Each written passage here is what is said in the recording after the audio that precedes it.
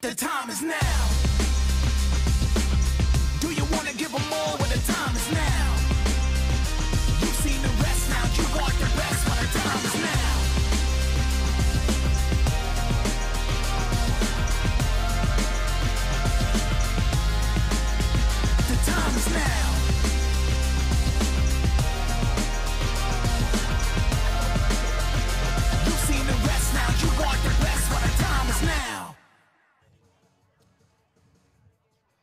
Ernie Banks once said, let's play two, and that's exactly what we're going to do here on the campus of Marian University for the Knights hosting the Cougars of Mount Vernon Nazarene. Good afternoon, everyone. Alongside my broadcast partner, Jim Leisure, I'm John Cupo, and we are very happy to give you the second half of a doubleheader on a beautiful Saturday afternoon here on the campus of Marian University. And Jim, needless to say, the Marian Knights started off a little bit slow in game one, but did what they had to do, and the run rule happened in that sixth inning as they took game one 8 nothing. Yeah, hats off to uh, uh, Olivia Stunkel. She proves her record to 12 and 0. The 1.39 ERA that she came into the ball game with, of course, goes down. Uh, but the big story, I think, in that in that first game was the seven, eight, and nine hitters for Marian: Grace Meyer, Haley Green, and Jenna Minix. They scored of the eight runs. They scored six of them, and they had let's see, three, four, five, six, seven base hits, and I'm sorry, six base hits, and then one of them reached on an error. So in nine plate appearances, they got on base seven times, and then that allowed the top of the order to knock them in. So when you get production with seven, eight, nine, you tend to win. In game number two, they will leave it to the arm of Macy Cone, the freshman from Kokomo. Home of the Wildcats with a K. just a selfless promotion as that this year ISC will be broadcasting Kokomo Vipers FC, the new team up in Kokomo for the UPSL. And I'm very humbled. I will be on those calls with my partner Brant McCoskey. So the UPSL, two new teams, Southern Indiana FC, also on the docket for us this spring and summer. So be sure to tune in for UPSL soccer this spring and summer on the ISC Sports Network. So Zeri Hill will lead things off as she did in game one for the Cougars. She did get one base hit, one of three in that first game. That ball outside. Corner's playing her extremely in. Expecting the bunt.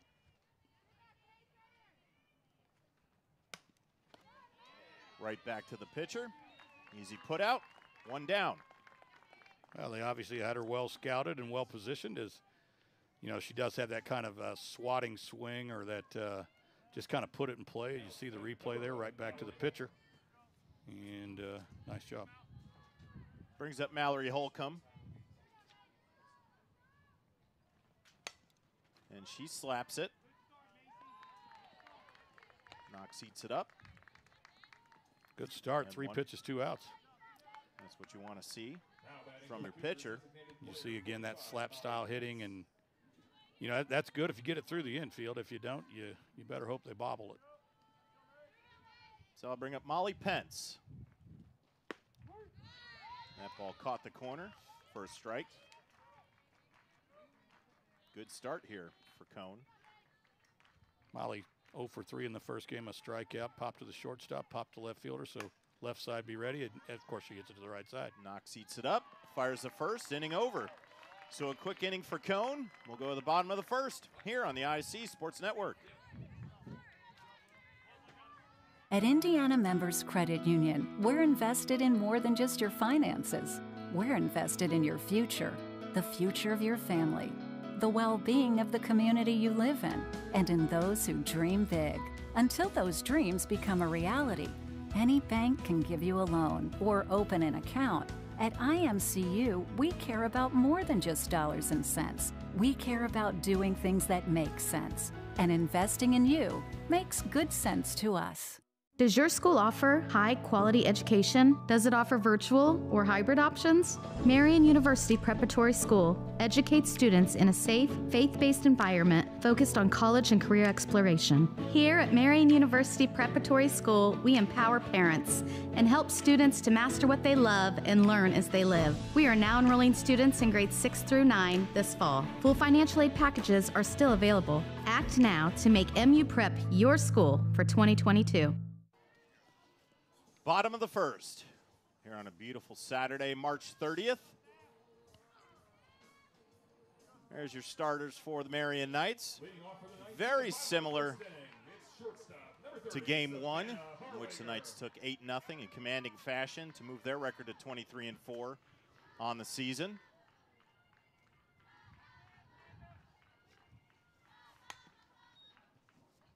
Harweger bounces that foul to the right side.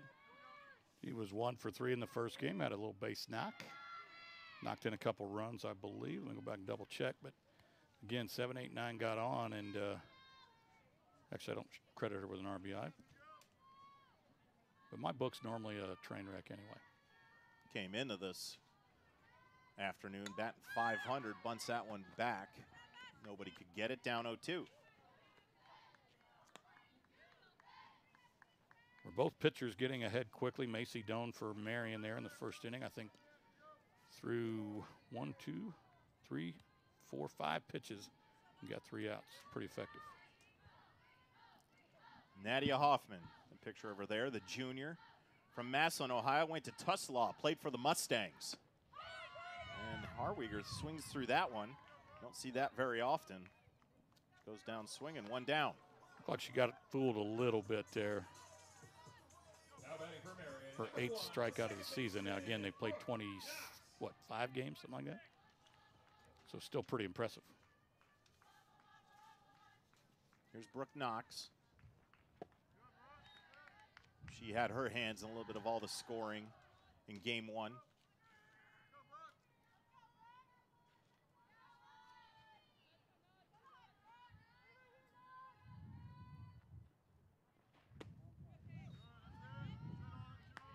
Nice job of really being patient there. Knox waited on that pitch, waited on it.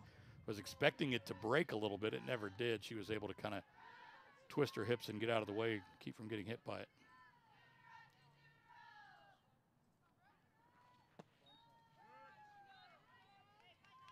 Similar pitch, similar spot. Count 3 0. Good spot for Knox here.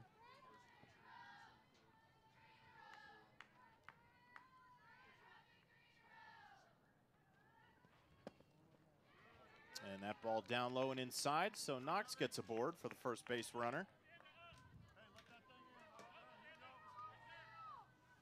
Well, you know, free passes. I tell you, when I coached, I used to tell my pitchers, you know what, when you walk people, there's no great play. You know, if, if you pitch and let them hit it, there's eight people out there that they actually may hit it right at, and we can get an out. But when you walk people, there's nothing we can do.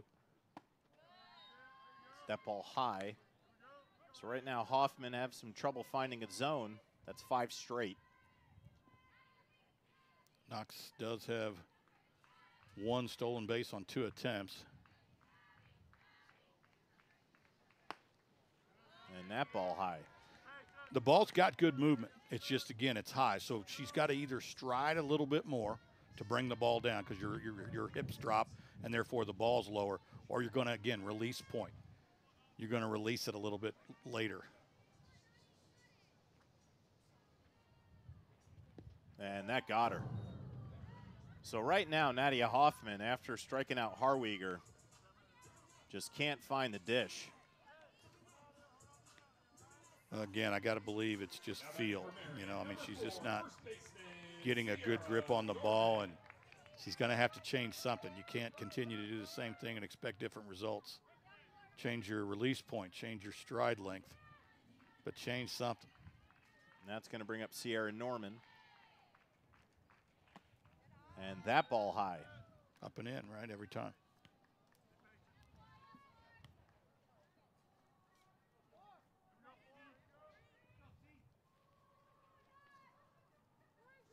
Early in this one, runners on first and second, one down. That ball high. Now here's the deal. That ball to me wa- was close enough, but when you're that, I mean, you know, and, and again, I used to tell my pitchers, you can't throw balls in the left bat- batter's box, the right batter's box, over the catcher's head, and then paint the corner and expect him to give it to you. He isn't. You haven't thrown anything close to a strike. He's not going to give you that pitch. And that one came awfully close to hitting Norman. Is that an instant, Jim? You kind of lean into that one. That was a Well, you know, I, I tell that was you, coming in off speed. Yeah, but you know, I want this kid to hit. You know, there were times when I was a player, and believe me, that was 40 years ago. But when I get hit by a pitch, it'd be like, you know, can I just stay here and hit? I'd rather hit. And that's another ball. So two walks and a hit by pitch have loaded the bases here with one out for the Knights. So we're looking at Up to bat for the Knights, left fielder, number three, Abby Hoffman. 11 balls in a row. What's that college? There's a college university somewhere in baseball where the, the, the fans just start going ball 11, ball 11, ball 11, and they really try to get in the pitcher's head. That's probably every school in the SEC. There's one that's famous for it, though. and They kind of invented it. If anybody else is doing it, Is it Rocky Top, Tennessee? Nah, get some help. Texas A&M, I'm being Well, told I had here. the T right. So obviously those folks, uh, they really get into the game. It's impressive. I've seen it. And there's a strike. So 0 and 2, the first pitch was again up and in, and I think the umpire kind of gave it to her a little bit. It was close. It was close enough. But again, normally you don't get that pitch when you've been as wild as she has been. Hoffman now down 0-2. Does have 16 driven in this year. That one fouled straight back. I think that's going to find us close. Out of play. Hoffman stays alive for another shot. Bases loaded. One out. All three runners on. Two walks and a hit by pitch. Of course, Abby Hoffman, not to be confused with the other Abbie Hoffman, part of the Chicago Seven, political activist, arrested after the 1968 Democratic National Convention in Chicago. That ball fouled back. And folks, Jim has been waiting to get that Oh, reference man. in since the second inning of game one. Well, when I saw the name, I'm thinking she's got to be 80 years old. If it's that, of course, that Abbie Hoffman happened to be a male. Well, this Abby Hoffman having a fantastic season. Came into this one batting 390. Now she's got a chance to add to that and add some RBI to her total. And she might get one out of this. We'll see. To charge in, and that's a great play. Hill got underneath it, and with that running start, there was no way that Knox could tag on that. Great shot of it there. You see there on the replay. And again, that's what you coach them to do. You want to stay back on the ball just a little bit so that you can catch it with all your momentum coming to, ho- to home. Now, that ball was honestly hit a little too short, too, but she, she played it well. So that's going to give Lily Went a chance. That ball inside. You hate to leave this inning with nothing. You got to try to get at least one. Went up in the count 1 0.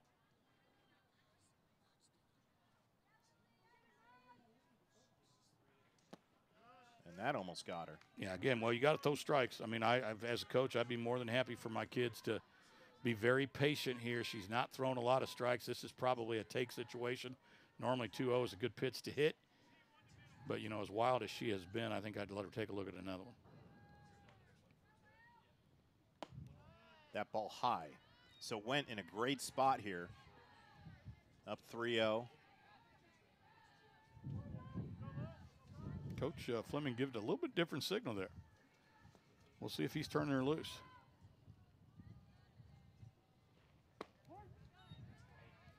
Hard to tell because, again, that pitch was one that no reasonable or prudent hitter would even try to swing at with uh, a 3 1 count. Went gets another shot. Bases packed. Two down.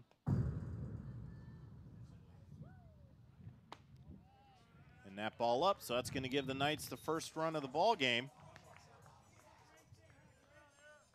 Advance everybody one. And right now, all the runners on base and all the scoring has been due to walks and a hit by pitch. Yeah, three, or I'm sorry, four free passes, and it looks like coach has already seen enough. Well, the afternoon ends early for Nadia Hoffman.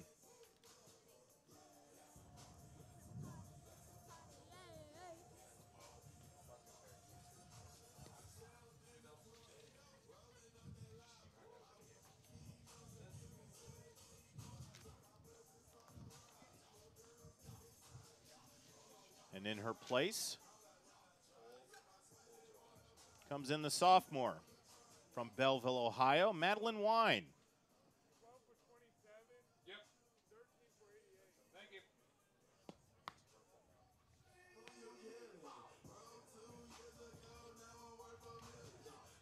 Going to change the whole battery here as they're bringing in a new catcher as well.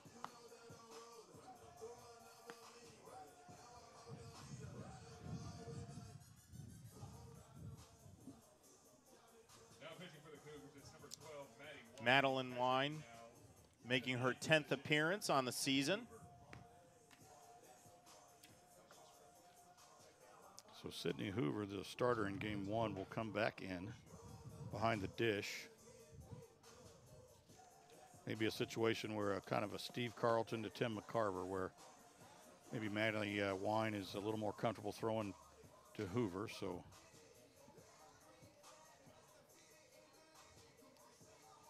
it's all sorts of changes here for Coach Howell and the Mount Vernon Nazarene Cougars. so Here on this March 30th, So Sydney Elliott, number 88, was the starter behind the dish in game two, and she is out of the game. Now she can re-enter, and we'll see if she does, but did not get a chance to hit as she was in the nine hole, and they simply did not get that far.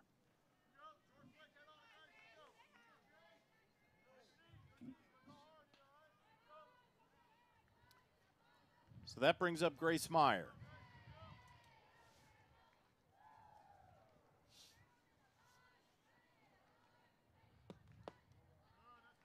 And that ball outside. Got lefty lefty here, so that You ball don't see that often. Yeah, yeah, the ball tails away from uh, from Meyer, so we'll see whether she's able to slap it the other way. Stay with the pitch, keep the shoulder in, and just drive it the other way. There's a big gap down the left field line. And that ball gets away. And that'll score a run. So good heads up by Madeir. She'll score on the pass ball. And we'll take a look here. That's clearly a pass ball, and that ball was 100% catchable. And everybody will advance. So runners on second and third. The run scores. The Knights up 2 nothing. And the count 2 and 0 on Meyer. And yes, the pitch was a ball, but certainly catchable. The ball fouled back. Yep. You can hear Coach uh, Fleming saying, "All right, all right," meaning you know what, I ain't mad at you. You know, you had the 2-0 count. Again, I used to tell my players, look, only your favorite pitch, and then they'd swing at a pitch that's like a foot over their head. I mean, like that's your favorite pitch. Honestly, we need to talk.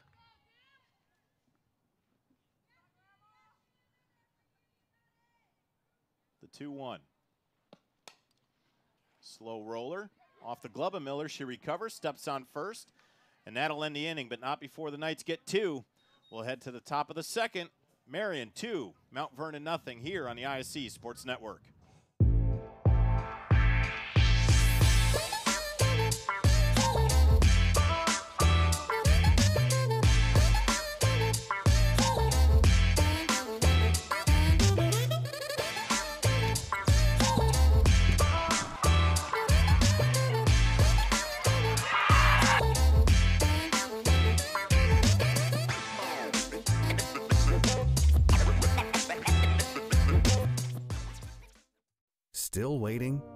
Could have been seen by an orthopedic specialist at Ortho Indy Urgent Care.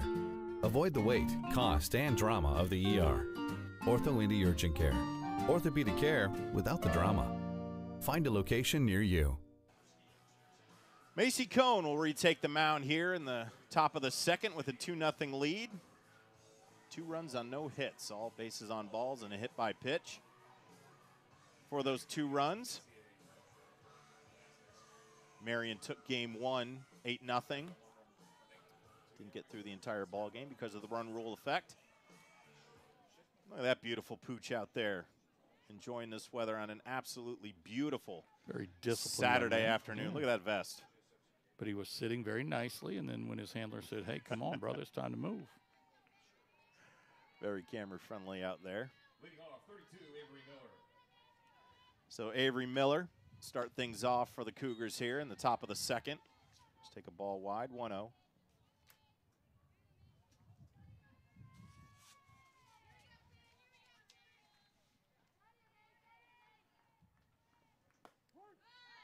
There's a strike from Cone, Macy Cone.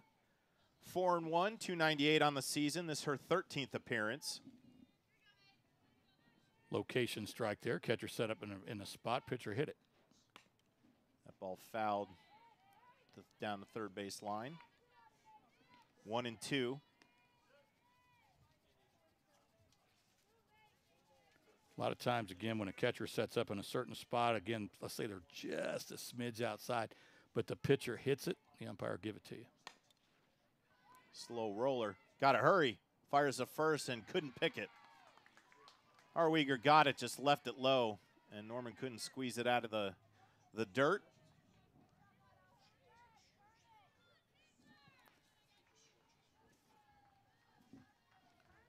Again, as you saw perfectly as you described it, I mean, it was just there was plenty of time to make the play, and ball was a little low. And again, that's a, a play that you want your first baseman to make. But I'm not going to say it was easy. So Mackenzie Hancock will get a shot here. Runner on first.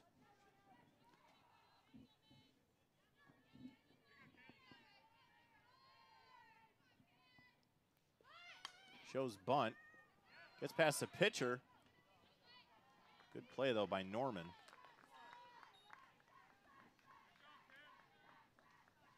So Miller will get to second on the fielder's choice. Well, rotated the infield there. Obviously, the, the first baseman's charging. The second baseman has to be moving. When she's relatively certain that the ball is going to be bunted, she sees it going down off the bat. She's got to sprint to the bag. And if they're going to give you an out, you take it. That brings up Brooklyn Crum. Now let's talk about that pitch for a second. That pitch again was slightly outside, but the difference has been that uh, the pitcher has been hitting the zone, and so she's kind of walked it out there. Earlier in the ballgame, the Mount Vernon pitchers were struggling to find the, anywhere near the plate, and then when you know you get that that one that paints the black and, and they want it, well, you got to kind of earn that. You know, I mean, Greg Maddux, great pitcher in the big leagues for years. I mean, he was famous for just walking the ball out. And that ball finds a gap just inside the line. It'll drop. Ball comes home, but good piece of hitting there by Brooklyn Crum. She gets on. Miller moves to third. And the Cougars, with runners on the corners, have an opportunity here. Great job by Abby Madeir of just going over and getting to the line and getting the ball in quickly. The ball was up the third base line just a bit. It wasn't a perfect throw, but it was enough. Now we'll see if uh, Coach Howell decides to uh, put somebody in motion here. Brings up Kira Mayer.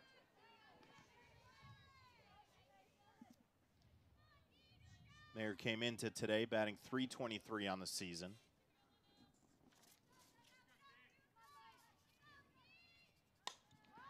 That ball sky to center field. On her way back and over her head. Fires that ball in. Runner scores over to third. And everybody's safe. Yeah, so Kira Mayer put a charge in that one. That scores Miller. Crum gets to third. And the Cougars are on the board. Yeah, you saw Miller there very wisely tagging up again. Uh, if she catches the ball in center field, if you're tagging up, you're on the bag. You can crawl home. So don't take any chances of a great catch putting you in a bad position. So Cougars got a little bit of a rally going here. That ball inside. So Cone got him easy in the first, but the Cougars have come alive here in the top half of the first, second.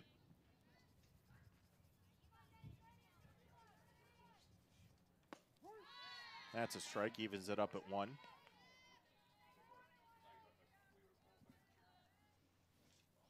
Infielders have got to be asking themselves before the pitch, ball's hit to me in the air, where am I going?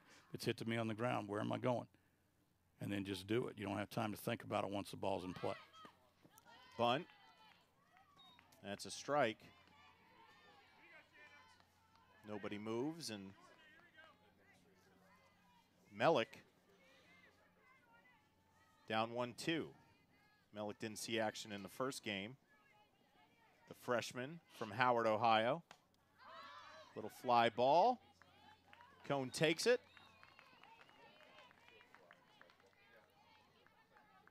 So two outs, but the threat's still alive. Runners on second and third. Big out, though, for Cone.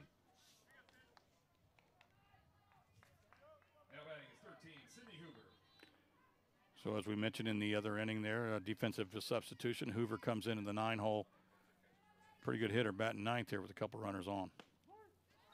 There's a strike. So Cone really needs to get out of this one.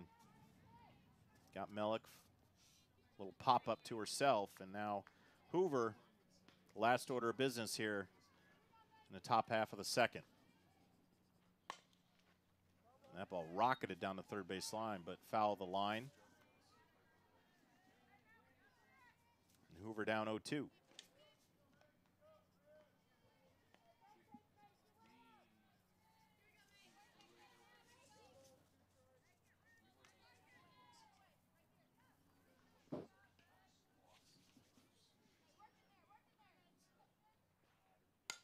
And that ball fired in the gap. It's going to drop. That'll score one. Here comes number two. Fire home. Not there. Throw to second, and she's safe. How about that? You couldn't ask for anything better out of your nine hole there. Now, again, she's not your typical nine hitter, but she gets a little duck snort there that gets just past the bag in second base and kind of dies and just goes into center field, scores runs because both runners were moving on contact, easily scores the runner on second, and then takes second on the throw. So Crum and Mayer score on the hit by Hoover. And just like that, the Cougars have a 3 2 lead.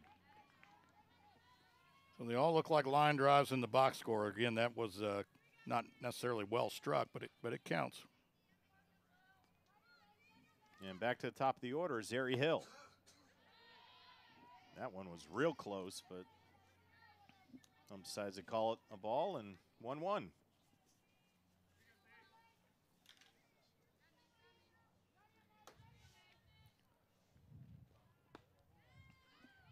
ball outside. Yeah, I think that was purposely outside. That was one of those. Let's see if she'll fish here. Let's see if she'll go out and try to hit a bad pitch.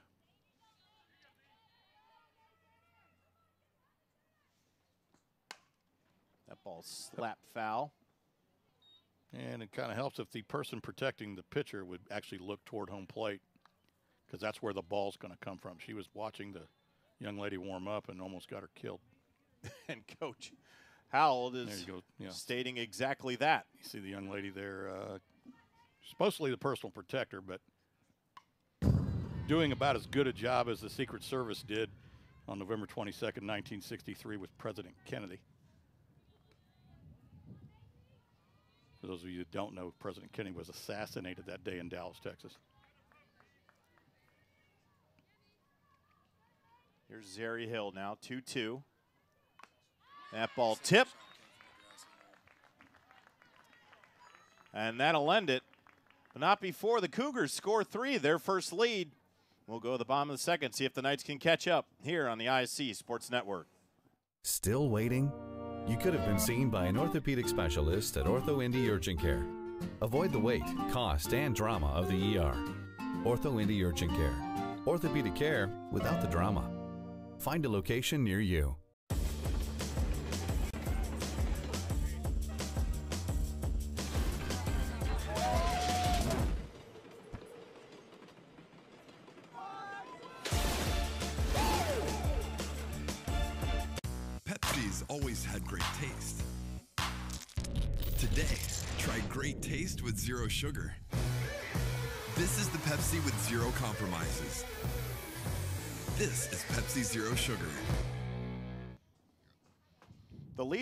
One for the Cougars, though. 3 2 after three in the top half of the second. With some, I want to say timely hitting, but just good hitting, Jim. They put- the ball where they weren't. Well, yeah, both. I mean, you you got to get timely hits too. I mean, if you get a base hit, nobody on base, who cares, right? But when you get a base hit, a little, like I said earlier, a little dying quail that just gets past the bag. There's two outs and runners on second, third, all of a sudden it's a it's a much bigger hit. So, a couple of RBIs there, and we got ourselves a ball game. Green Minix Harweger. First three here for the Knights in the bottom half of the second. Down 3 2. That ball inside. Ball again just tailing inside. You know, again, it's release point. You got to release that a little bit more where it's going to be a catch a bigger part of the inner half of the plate. You know, because she's starting it on the corner and then it's breaking off the plate. Ball outside. 2 0. Working both sides there. We're going inside out.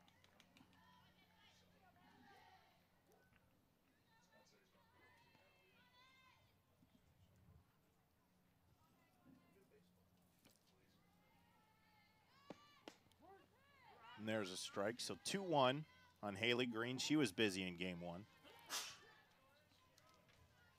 Yeah, we've already talked about it again with Meyer Green and Minix going up combined seven of nine on base percentage. That ball outside. Good spot here for Green. 3 1. Gosh, I used to love 3 1, man. I'm just, please, give me something I can drive.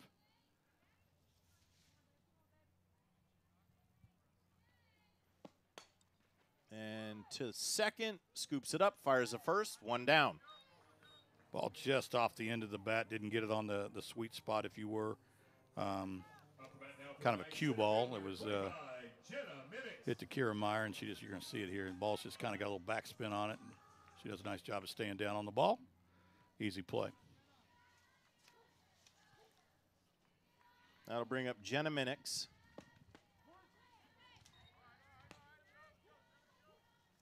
Minix had an idea. She thought about throwing the hands, decided against it. The umpire liked it better than she did. There's a slap, but right into the mitt of Mayer. Who fires the first, but I believe she caught that in the air. So Well, if you're not sure about it, Yeah, make sure. no, absolutely. I used to tell them again, my kids, if, if your glove gets dirt, if your glove hits the dirt, then go ahead and finish the play. So that's going to bring up Savannah Harwiger for the second time. Struck out in the first. Which that ball inside. Again, she, I think that was only her seventh or eighth strikeout on the season, so she's got to be seething. You know, you, gosh, you only get three or four at bats in a game, and when you kind of leave one on the table, it just leaves a bad taste in your mouth.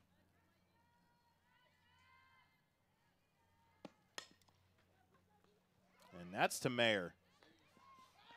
And safe. The speed of Harwiger beat the throw of Mayer. It was a good play. No, I was going to say, but what about the play? That was really, really nicely done. Very close.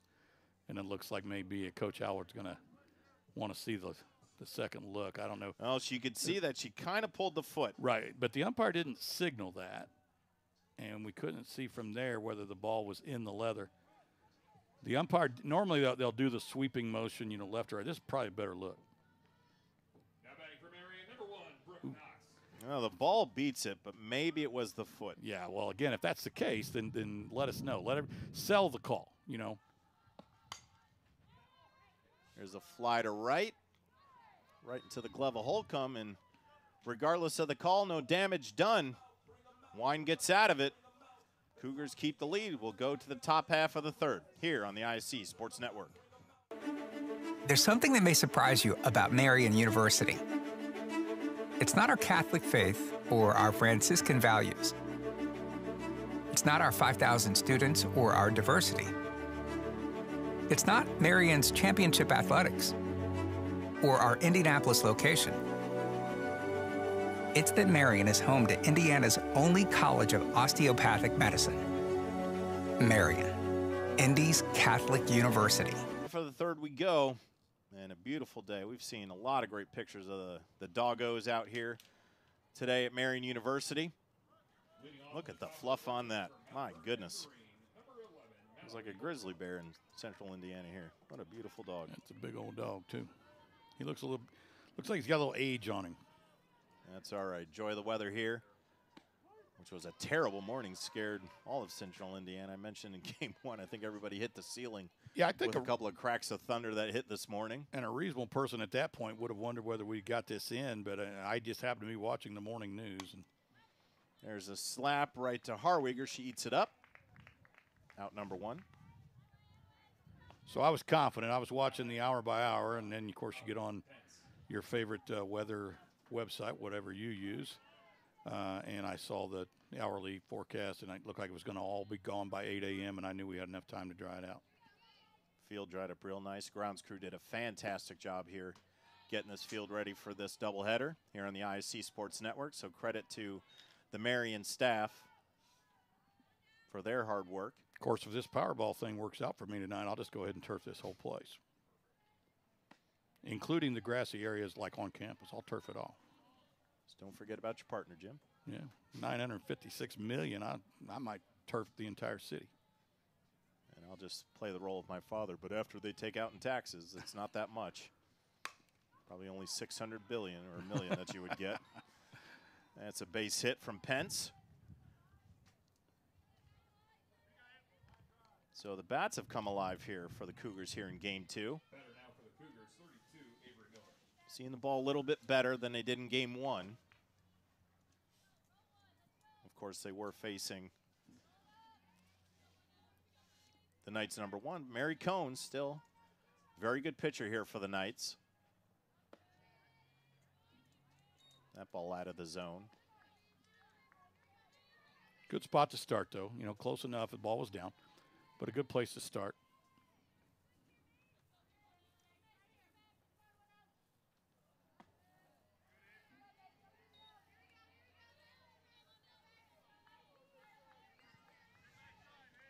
Count 2 and 0.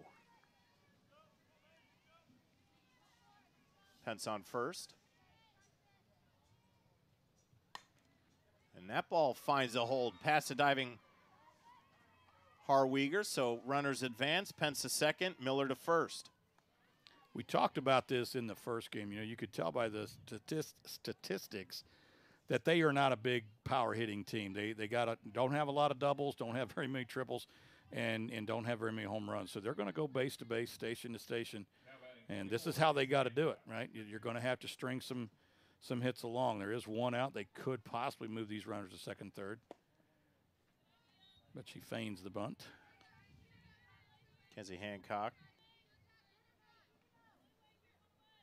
And you know, some years you got a club that can you know knock the walls down with line drives, and other years you got to play some small ball. So and slaps that ball. Fair ball.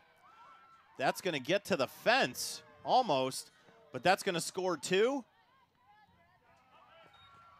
And on a double to the wall by Mackenzie Hancock. how about that again? She could not have rolled out, went out there and dropped this ball. And look at her; she's kind of looking at her teammates, going, "Yeah, of course I meant to do that." Uh, nice little inside-out swing, and the ball just drops right inside the chalk. Good call by the home plate umpire as the base umpire was in the field. Pretty easy call, and away the runners go. So the Mount Vernon Nazarene Cougars.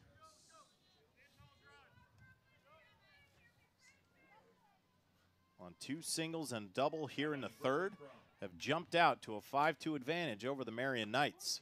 So they've earned it. I mean, again, it's not like uh, you've given free passes, you've walked hitters or hit hitters. I mean, again, none of these balls have been hit particularly hard. Even that one wasn't a screamer.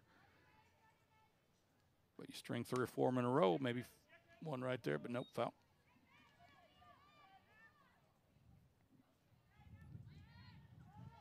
It's Brooklyn Crumb. She got things. She was involved in the, the scoring. Is Yep. She didn't play in game one, but she got a base hit, and she did score in that top half of the second. Ball floats just outside. Nice look at it there. So I'm, you know, I'm sure she's probably thinking to herself, I get a base hit here, and if things go right, I get an RBI. Hey, coach, maybe you're playing the wrong kid. Maybe I ought to play more.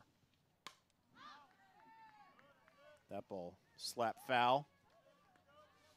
Again, one of the things that uh, I used to tell my players all the time: if you don't like batting eighth or ninth, get about three or four hits.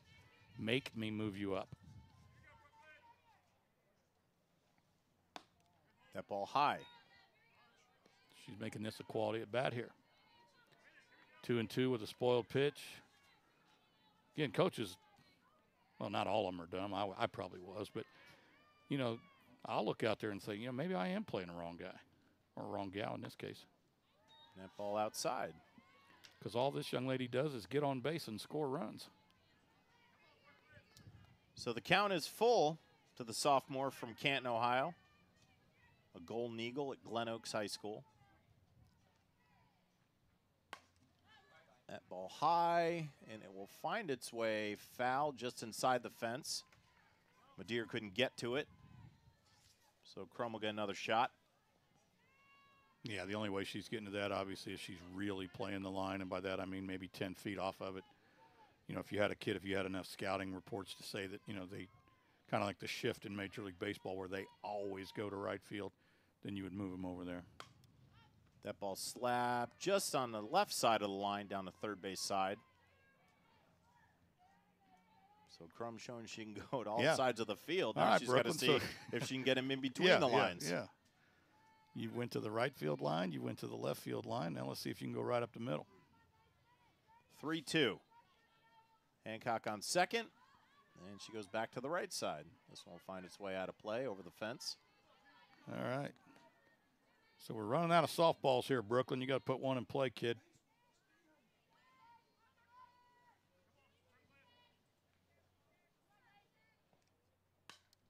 And that finds its way coming back towards us. See, if we are playing in the neighborhood, be like, we're out of balls. We game over. Way to go, Brooklyn. Now we got to go do something else. My neighborhood, we would have been done with the first one.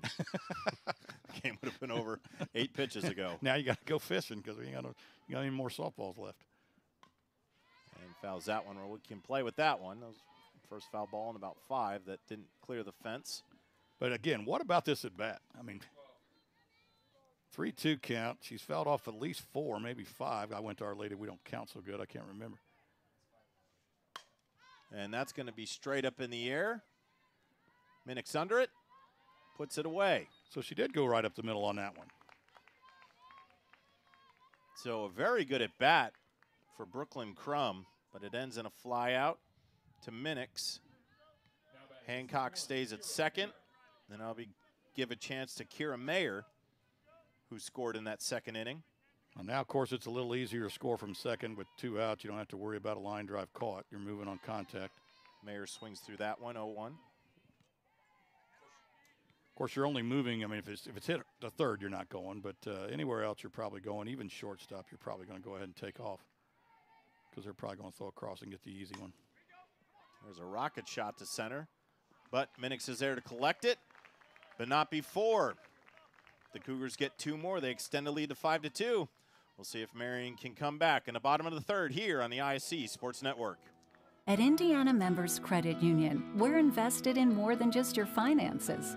We're invested in your future, the future of your family, the well being of the community you live in, and in those who dream big.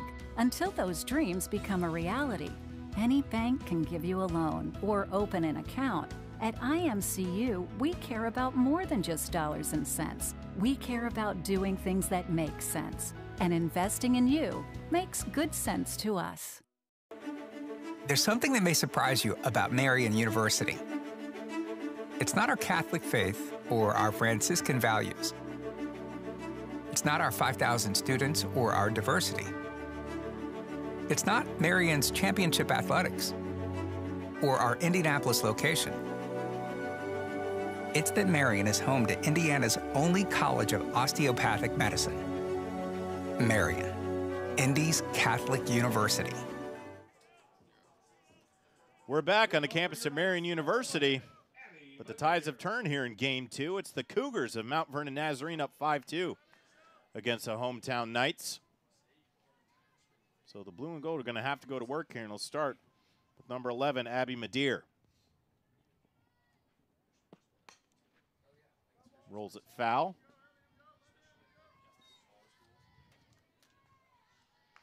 And Jim, Marian really should embrace this one because after this, they got to get their traveling shoes on because they are on the road for, for quite some time. They'll head to Taylor on Tuesday.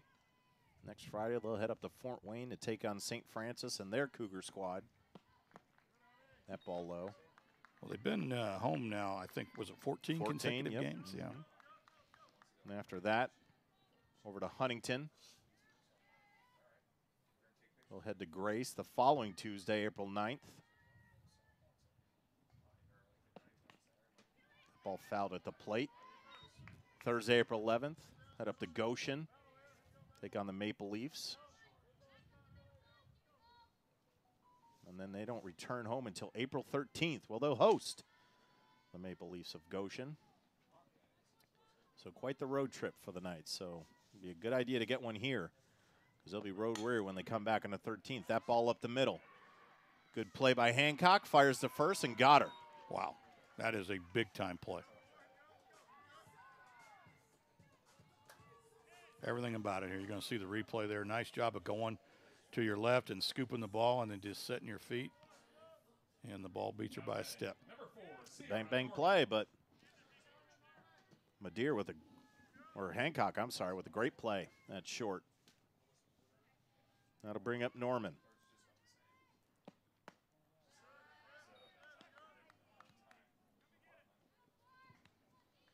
The ball just inside. And again, I think uh, pitchers on both teams have kind of figured out that this umpire's not giving you much on the inside, but he is giving you something on the outside, so you need to probably stay out there. That ball outside. Which she tries to do but misses. That's all part of it. Every umpire, there's some umpires are low ball umpires. Some are kind of going to give you the little higher strike and not the lower strike. And you got to kind of figure that out.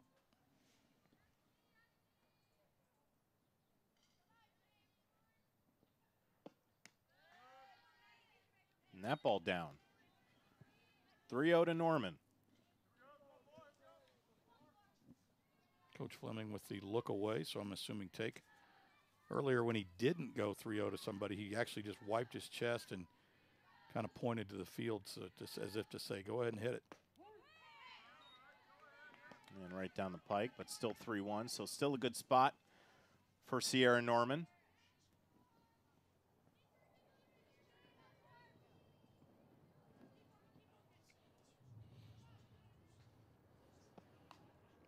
Fouled straight back, 3 2.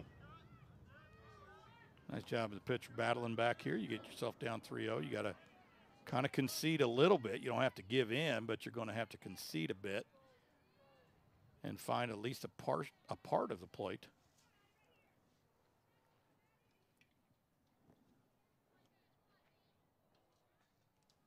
The payoff. And fouled straight back towards us. And we'll do it again. These Cougars will return home on Tuesday and host Grace College, and then they'll head back out on the road for two. Friday they'll go to Taylor, and then Saturday they'll head out to Indiana Wesley and take on the Wildcats. Seen a lot of really good at bats today, both in game one and game two. That ball fired straight back. Get out from under the table, John. I'll protect you. You don't got to worry about it. You see, you were the coach. I was the player, but I was the one that you weren't playing. I played too, but it was a long time ago, and I played center field. You had to hit it really hard to get me and hit in the face. I had plenty of time to get out of the way. If it was hit that hard, I'd just step aside. There's a fence back here. I'll stop it. And that ball straight to Hancock, and she'll eat it up for out number two. So the long at bat by Norman comes up empty, two down. Batting for Marian, number three, Abbie Hoffman. Kind of a soft liner there, but again, as you said, uh, Hancock with a nice play. She's been involved in both of the outs here. I see at the high school level, I used to say, you're going to get that girl scholarship. We keep hitting the ball to her, but hopefully she's getting a little something, a little grant and aid something. There's a strike. Abbie Hoffman. Straightaway center in her first at bat. Pitcher Madeline Wine came in when the Cougars were in all sorts of trouble. Nadia Hoffman started the game, and she has come down and settled things out and has herself a 5 2 lead. She really has. And again, you know, if you're Coach Howell, you, you got to feel like, you know, I got somebody now that I know I can count on. And again, maybe she deserves a start.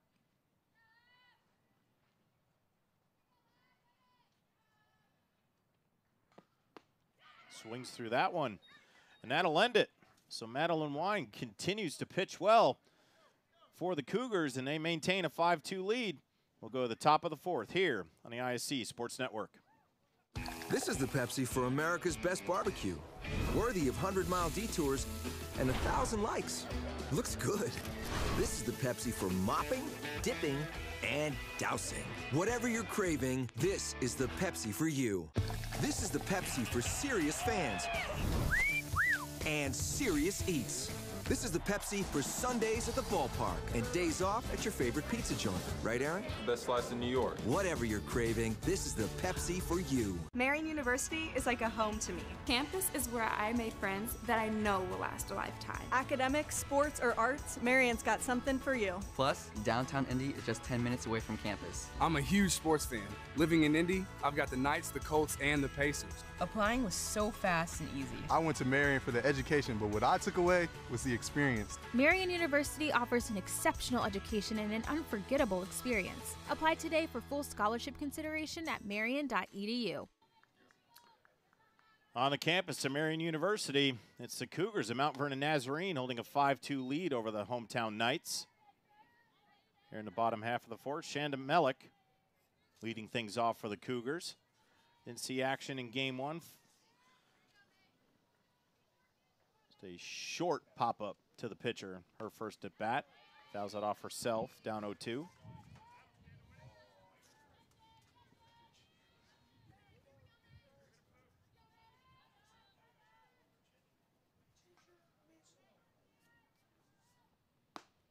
And swings through that one, first out. Didn't take long. So Cone helps her own cause with the strikeout of Melick. Now batting is 13, Sydney Hoover. And now to bring up Sydney Hoover, who got things started. Or I should say, cause either way, it caused a lot of havoc in that second inning. Put a double to the wall. But it was a quick change because it was Sydney Elliott who got the start. And then when Madeline Wine came in, it was a quick change to Hoover. But she flies out to Hoffman. So no damage done the second time. And Cone has two quick outs here in the top half of the fourth.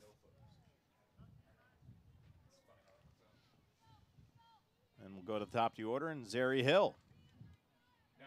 And again, once once again, the uh, infielders, corner infielders come in. She's kind of a slap hitter, choked up about an inch or two.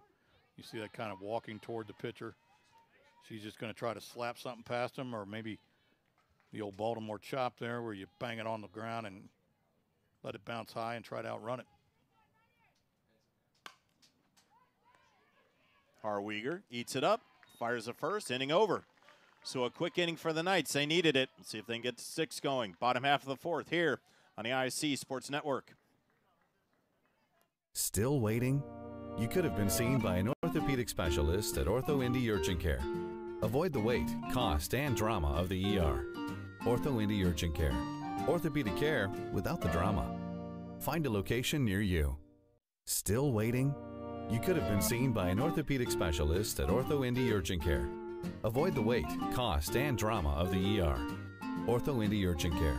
Orthopedic care without the drama. Find a location near you.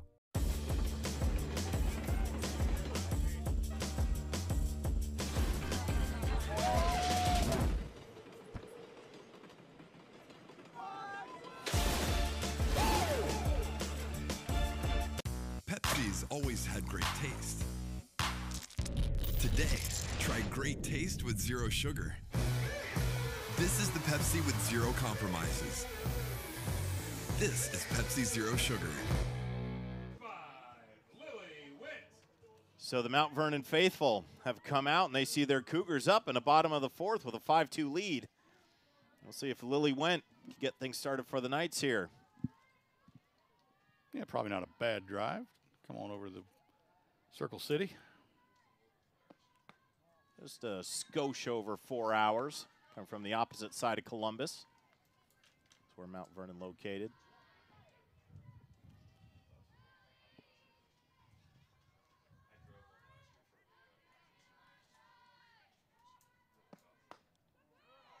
That ball high, went up in the count, 2-0.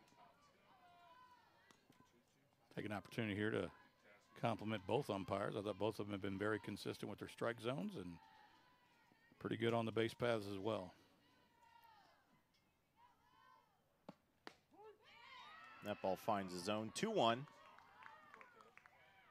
So if you're sitting at home and you think uh, you're remembering back to your glory days when you used to play baseball, softball, whatever it is, there's a local officials association in your area. You might want to give them a call, get back in the game.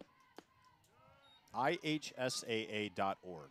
That's in Indiana. Where you want to go. Yeah, of course, in, in Ohio they have a, I'm sure a, a. OHSAA. Yep, I'm sure it is. Mhm. And Dot org. That's actually how I got my start. A buddy of mine called me way back when, said we ought to get our umpire license. I did. From there, turned it into a nice little coaching gig. Cannot play the games without these officials. Multiple sports to do at every level, whether it's high school, Yep. middle school, college anything. level, anything. They're in very importance. They're the backbone of our league. So go to either ihsaa.org in Indiana. If you're watching in Ohio, ohsaa.org. Went grounds out to Hancock for out number one. That'll bring up Grace Meyer.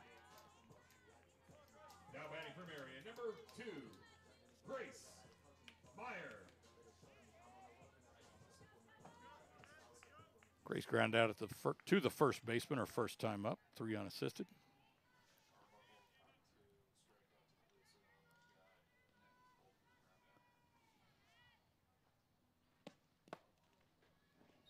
And that caught the umpire. We'll take a second. Yeah, this is normally where the catcher will walk out and talk to the pitcher about some mundane thing and let him recover. You see how she's stepping out and just basically stalling. And he's saying, no, no, I'm fine. Let's play. The umpires do the same thing when their friend, the catcher, gets zinged as well. They'll go out and dust off the plate that has no dirt on it.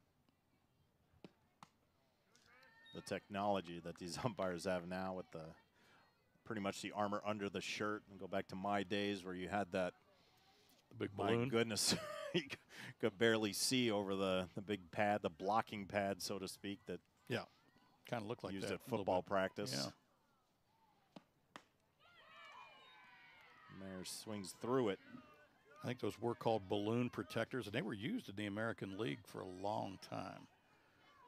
Probably, maybe even into the early 80s. That was an American League thing.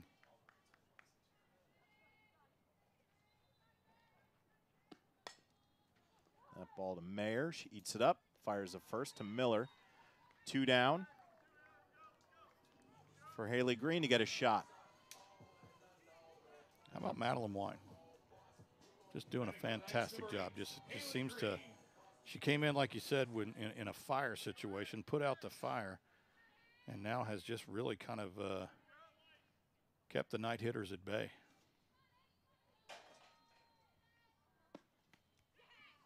And Green swings through that one and Jim not nothing hit hard all these outs are just Yeah, which is again good movement normally.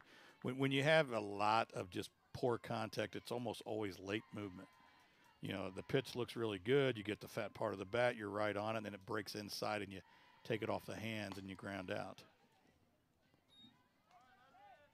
hit foul so Green down 0-2 Getting ahead is a big deal too, right? Again, we said this earlier. Now, she's uh, in a good spot. She knows she can throw whatever she wants, off speed, in, out, up, down.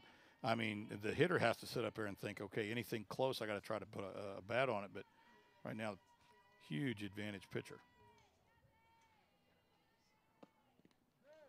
And that got her. Wow. Well, if you're going to get on, which the Knights desperately need, got to do it somehow. And that caught Green. And that right there is why coaches have gray hair. You're up 0 2 and you hit them. Years ago, I coached with a guy, uh, actually an Indianapolis Indian legend, got him by the name of Razor Shines. And Razor had a cup of coffee with the Expos uh, in the big leagues, but he helped us coach at Bishop Chatard. And Razor would always say, if you're going to hit them 0 2, just hit them with the first pitch and get it over with. Don't waste two pitches. The Indians will be celebrating Razor Shines this year on a Razor Shines Day. So kudos to the legend. Yeah, I remember those games. I, I used to go to a lot of those guys at the old Bush Stadium out on West 16th Street. That Ball high. Back when the Indians were affiliated with the Montreal Expos and guys like Andres Galarraga, Larry Walker, Randy Johnson, I could go on and on. Uh, they won three American Association championships in a row. They were fun to watch.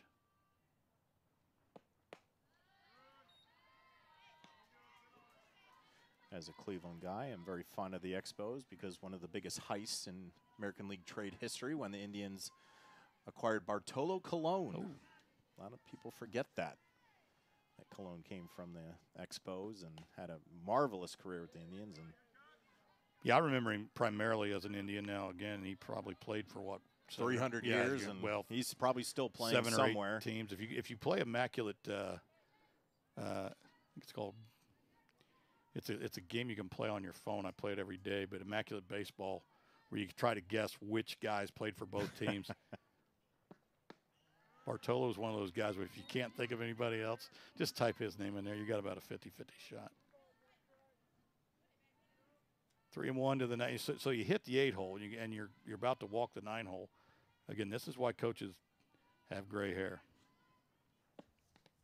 And that got Minix. So, Jim, I don't know if there's an announcer's jinx in baseball or softball or probably any of these bat sports, but you may have just indo- indoctrinated to this one. Yeah, blame me. Because as soon as you said that she came in and did Yeah. the damage, she has two hit batters Yeah. back to back. That's going to bring Coach Allen. Now, see again, this is where I would come out and I'd go, Do you know the rules? Do, do you know how this game is played? You hit the eight hole and the nine hole. Neither one of these people could hit water if they fell out of a boat. All right. And you're hitting them and putting them on. Hmm. You know what? I blame myself.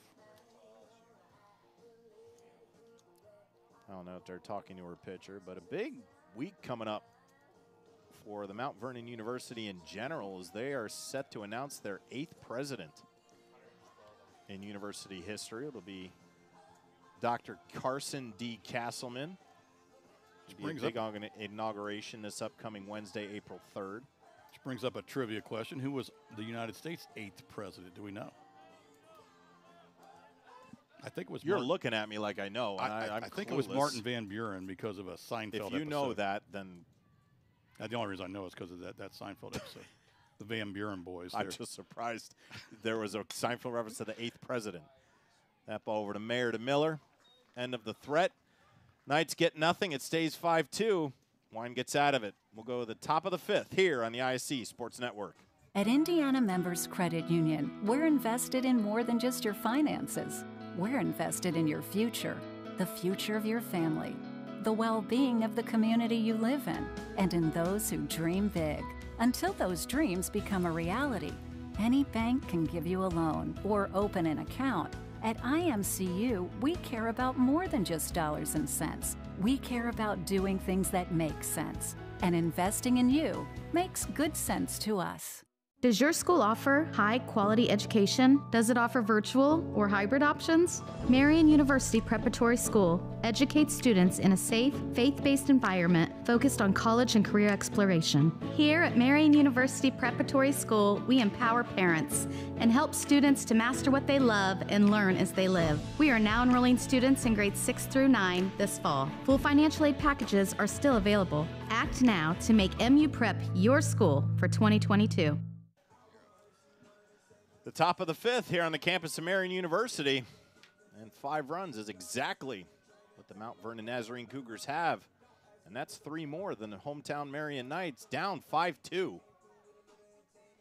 Well, here's an opportunity if you're Mount Vernon. You got two, three, four, five, and six.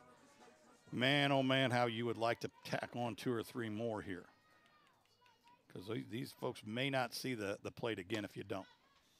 And that might find the line. It does.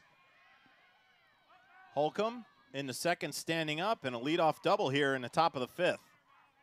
And some excellent base running here, John. You're going to see on the replay as that ball gets down, she's she's she's going to second, but when she sees it get away from the right fielder, right there, well, there's no doubt now. Now it's over. Right now, she she again she was going to hit that bag hard with a strong turn, and then had she fielded it cleanly, she may have slammed on the brakes. But the minute she saw the ball bobbled, forget it. That's going to give Molly Pence a chance. with Holcomb on second. Nobody down. And Pence, single in her last at bat, did score in that third inning. Lays it down. Fair ball. Good play by Green. That does get Holcomb over, so the And chore was done. And again, nothing at all. You know, Green didn't do anything wrong. Now, you know, I, I looked like that ball had a little bit of a weird spin to it. She may have been able to, uh, you know, let it go foul. But you know, I don't care what you do, but just do something. And she did. She she made a quick decision and she got an out. And one of my many sayings, "When in doubt, get an out." But it did look like that ball was kind of maybe spinning toward the, the line. But you know what? Again, I'll take it. That's going to bring up Avery Miller. She's been busy on twice, two runs scored. That ball outside evens it up at one. Just missed. Good spot. Catcher's asking the umpire, where was it? She set up a little outside, and then, you know, that's where she threw it, but that one might have been a little too far outside. And that was an excuse me swing. Yeah, that was a try not to get hit in the face swing, is what that was. Yeah, she obviously did not want to swing at that thing, and then at the last thing it was too late. Now batting will be 24, Kenzie Hancock. So Avery Miller on the excuse me. Grounds out to Macy Cone. She gets the out. A big one. Yeah, again, I got to think that that's late movement. That you know that ball looked good, and then all of a sudden Han- Kenzie Hancock pops it up. Hoffman under it, gets it, and Cone gets out of trouble. So after the leadoff double, Cone gets out of it. We'll go to the bottom of the fifth. Knights need some runs here on the ISC Sports Network.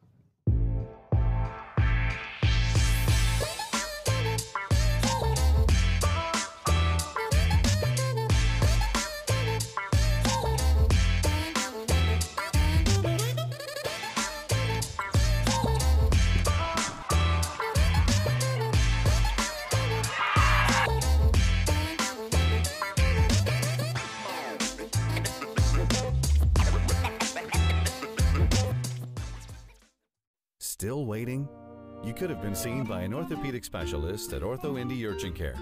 Avoid the wait, cost, and drama of the ER. Ortho Indy Urgent Care. Orthopedic care without the drama. Find a location near you. So just two runs for the Knights and just on one hit. Majority of that damage was done on walks and a few hit by pitchers. And the Knights need to find the bat magic that they had in game one. And they're running out of time. Bottom of the fifth. It'll be Knox, Madeir, and Norman for the Knights. Well, very similar to the last inning. I mean, now Marian starts with two, three, four, five, six. This is your best shot. You need to get runs here. Just get a couple. You don't need them all. Ball fouled out of play. 0 1. And certainly, you'd like to put a crooked number up there, but I'm sure Coach Fleming would settle for uh, two, maybe three here. That'd be great.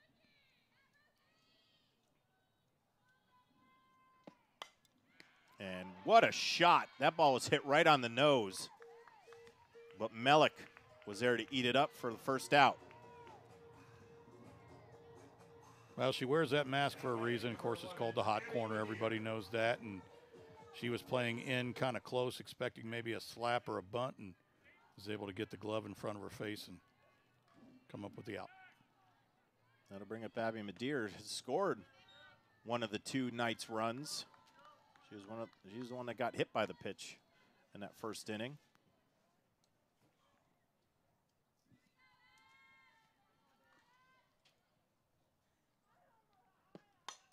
And there's a ball up the middle and a single.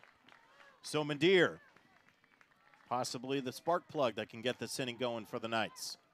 You know, you mentioned it, John, and I, again, it's just one of those baseball, softball gods things. As you see that pitch, nice job. Pitches on the outer half, just took it to the right side of second base. People who get on via the walk or hit pitch, they just seem to score. You can give up a leadoff double where the guy knocks the fence down, and then you'll strand him at second base, but or her at second base. But for some reason, walks and hit by pitches always seem to come around. Norman finds the opposing team pitching area for a foul ball, be 0 1. Norman walked in that first inning to drive in a run. Abby Madeir does have three stolen bases on three attempts, so now you, again, you don't want to run yourself out of an inning, but I've seen worse ideas. That ball fouled back a little bit out of his zone. I think Norman probably could have let that go, but now she's down 0 2, so she's got to be a little bit more selective now at the plate. Well, if you're wine, you just change her up. You got to slow it down. You got to change speeds. She's kind of had it pretty well timed down, so you want to give her something. You want to change her eye level. That ball way outside. Yeah, they, they came back with the fastball and just decided to change the location. But one way or the other, you had to change the eye level. You, she looks, she's awful comfortable when they're fouling it straight back. Count one and two. Madeira on first.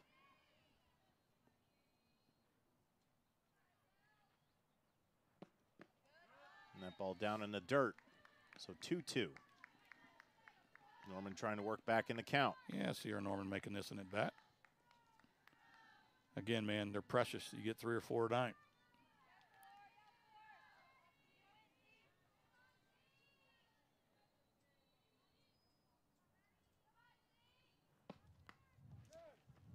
And that got her. Yep, I think I got her on the wrist. Well, you take them as you can get them. Yep. And that is the fourth hit by pitch so far. Three by Wine. Hoffman had the first one. So runners on first and second. One out. Abby Hoffman going to get a chance. She struck out in her last at bat. That ball high. Good hold. Good hold. She was ready to go. You know, again, I don't know how it's taught now, but I used to always teach as a hitter, you know, you're thinking yes until no. I'm going to swing. I'm, I'm looking for something I can drive. And then at the last second, you say no. You can't say no and then try to catch up to it. It's too late. And that ball high. So Hoffman in a good spot, 2 0. Coach is turning her loose, so he said, hey, it's got to be awful good, which is, again, same, I would say, got to be your favorite pitch. And then some kid would swing at a pitch in the dirt, and I'd be like, okay, well, that's your problem, son. Your favorite pitch is an awful pitch. That ball outside, 3 0. Deer on second, Norman on first. Now, again, coach gave that wipe of his chest and held one finger up. And that's probably his way of saying there's only one pitch I'll let you swing at. And we both know what it is. Nope. She decided to- back, yep. Yeah, she decided that was that was full take right there. Hoffman didn't want it, but now she'll go to work. 3 1 to count. Runners on first and second. The Knights down three.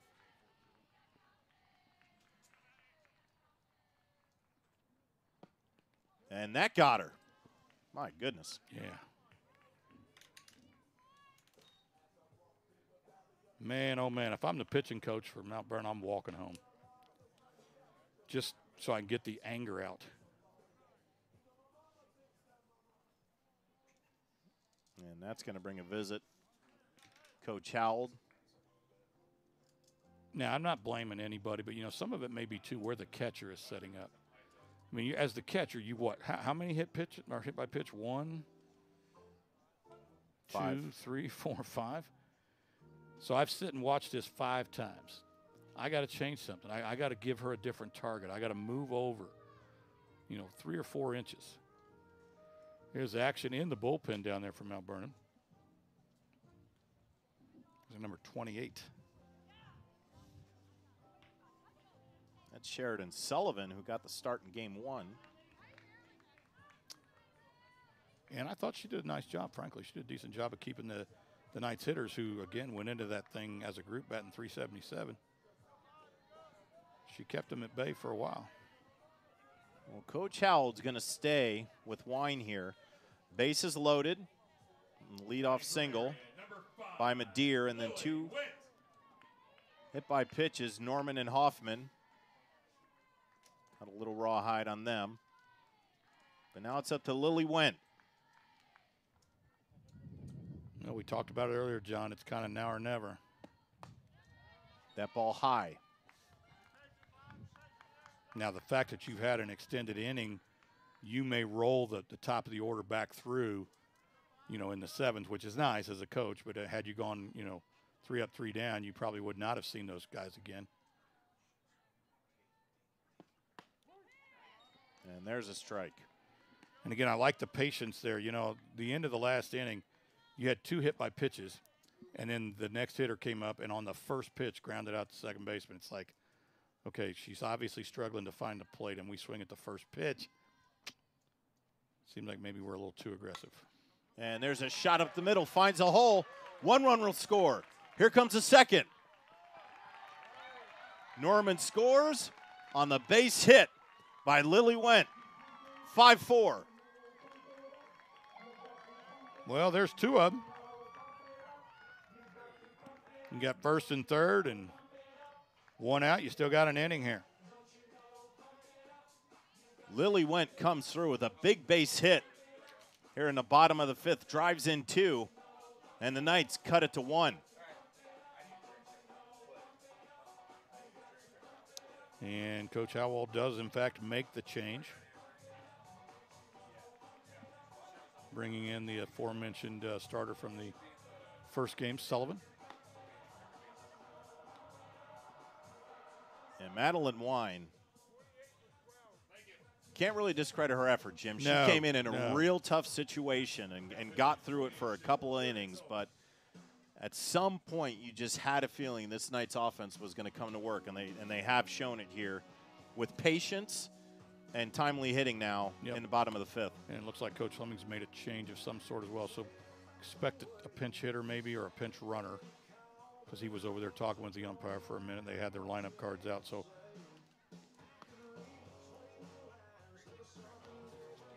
We'll see if we can get those changes. We'll keep our visuals open. But that is Sheridan Sullivan, the senior who started game one from Thornville, Ohio, played her baseball, her softball. My goodness. Opening day was just a few days ago, Jim. I'm still trying to get situated here. absolutely, no one's mad at you. But she played her high school softball at Sheridan High School for the Generals.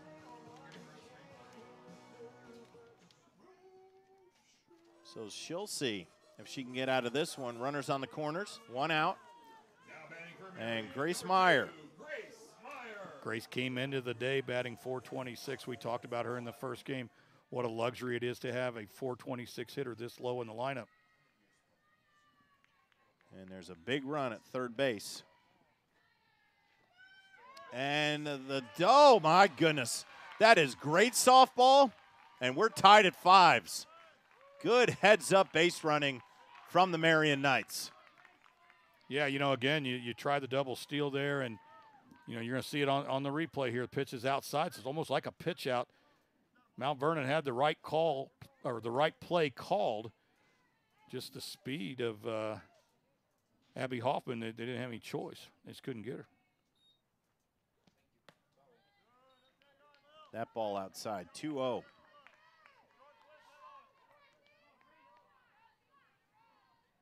So down three here in the bottom of the fifth. The Knights playing great softball, have tied it at five.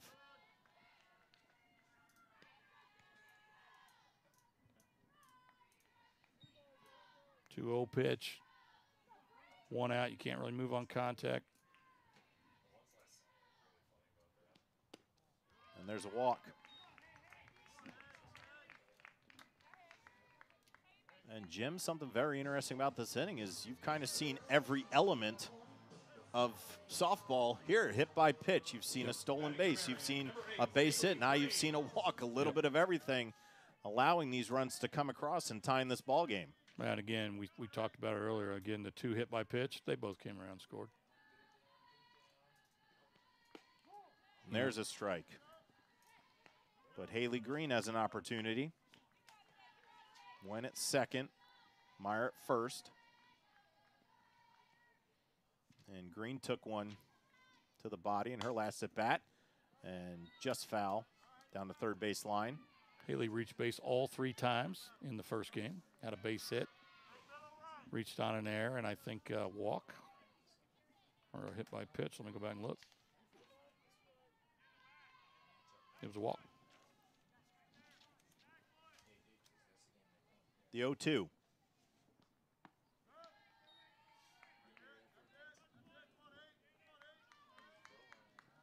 Boy, just missed. That that was a tough one to take. But she got it. She lives to, to swing the bat again. That ball fouled straight back. Stays at one and two. Tied at fives here in the fifth. Again, if you're Marian, you got to be a little bit careful on the base pass. Freeze on a line drive. Make sure the ball's going through. If it goes to the outfield, turn around and get a good look at it and start shuffling your feet. And that was a good looking pitch, but umpire says no. Evens a count at two.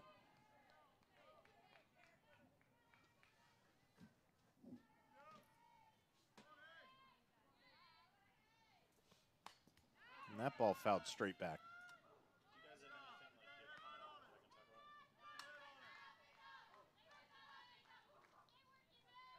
Six pitches in this at bat, working on seven here.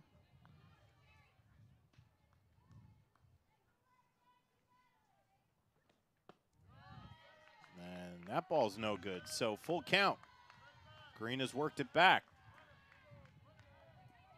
What an at bat for the young lady. Nicely done. Let's see if you can make it pay. Two on, one out. And a shot to left and hits the wall. One run will score. Right behind her is two. Green standing at second. Throw home. Not going to get her. Throw back into the outfield. Green's got open real estate. And they're going to hold her at third. Talk about making an, an at bat pay. Uh, just a fantastic at bat by Haley Green there. Again, battling pitches, fouling pitches off, drives this ball into the left center gap. And again, the, the base runners have everything in front of them. Right, you see, uh, so you know the ball's down. So you're going to score one, you're going to score two. Now, I'd like to see the on deck hitter tell the uh, runner that you may want to get down. She told her to get down, it was too late. And then the ball gets thrown around the yard. Stop throwing the ball around the yard, right? And then uh, allows the uh, runner to get to third. That's going to bring up Jenna Minix with an opportunity with Green at third. And the Knights have retaken the lead 7 5 on a great at bat from Haley Green. Again, how important is seven, eight, and nine? They've done it all day, Jim. They have. You know what? You can just concede the other hitters. Yeah, we're done. Um, let's play on. Give us three outs. I want seven, eight, nine. Come up. Minix swings through that one, one and two.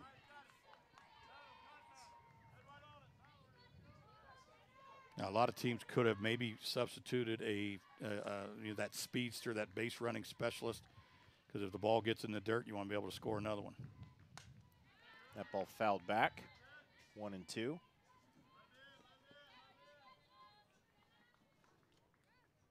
Because as good as the Mount Vernon Nazarene pitchers have been at times, they've also been a little wild at times. So, get a fast runner at third, you score on a pass ball. That ball high. Yep. Evens it at two. Too Five much- runs scored here for the Knights in the fifth. Too much movement on that pitch. You know, when the pitcher's glove or the catcher's glove goes from a set position to up and in, you're not going to get it. And that'll be it for Minix. Good pitch there from Sullivan. Now batting for Marian, number 30, Savannah Harwager. So that's going to bring up Harweger. And if anybody, Jim, if you know you want to say someone has struggled a little bit during this doubleheader, it's the person that came into this one batting 500. Well, that just means she's due. And she umpire asked for help. He went a said little she bit. Did. Yeah, she did. Tough call, honestly, from just because of the position. If the field umpire, and he's in the right spot, don't get me wrong, but it would have been an easier call had he been straight down the line. But he, he said it was enough. Evens it up, one and one. Yeah, you generally don't keep a 500 hitter down all day.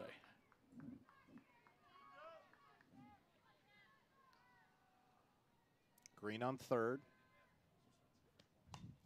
That ball fouled back. One and two.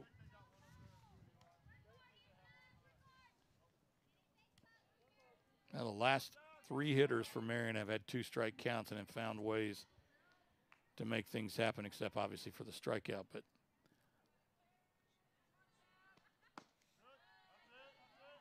The ball high and outside. Evens it up at two and two. Harry Caray would say, deuces are wild.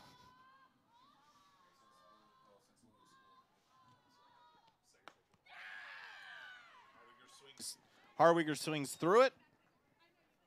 Green stranded at third, but not before. The Knights with the counterpunch with five runs in the fifth. What can Mount Vernon do?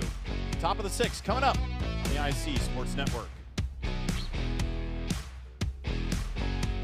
Still waiting? You could have been seen by an orthopedic specialist at OrthoIndy Urgent Care. Avoid the wait, cost, and drama of the ER. OrthoIndy Urgent Care. Orthopedic care without the drama. Find a location near you.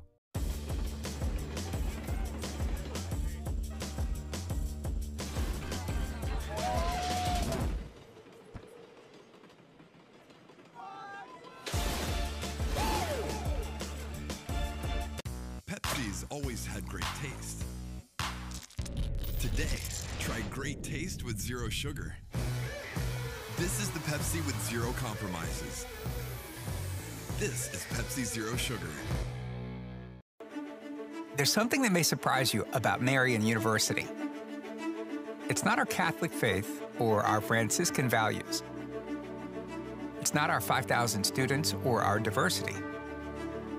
It's not Marian's championship athletics or our Indianapolis location. It's that Marian is home to Indiana's only college of osteopathic medicine.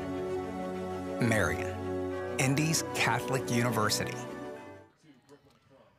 After five runs in the bottom half of the fifth, the Knights have come out on top. 7 5 here in the top of the sixth.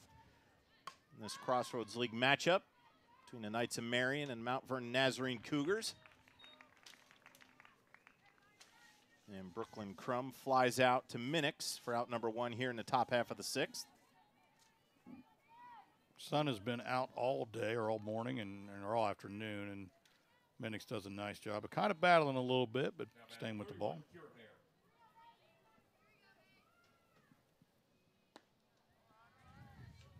That brings up Kira Mayer. She scored a run in the second.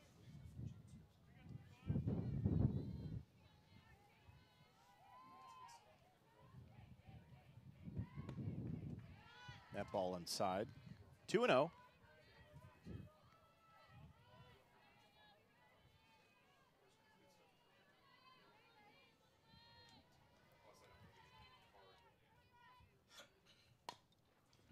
And a chopper to third.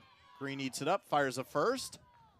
And Norman holds the bag for the 5 3 putout. Out number two. Really nice play on both ends here as you see a nice little pick. Quick hands there by Haley Green and then fires across to Sierra Norman, who does a nice job of uh, playing the scoop and keeping her foot on the bag. So nice play.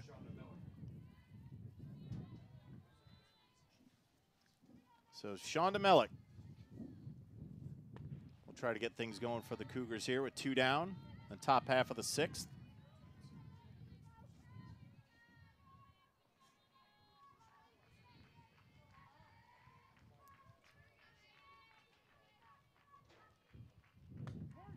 There's a strike.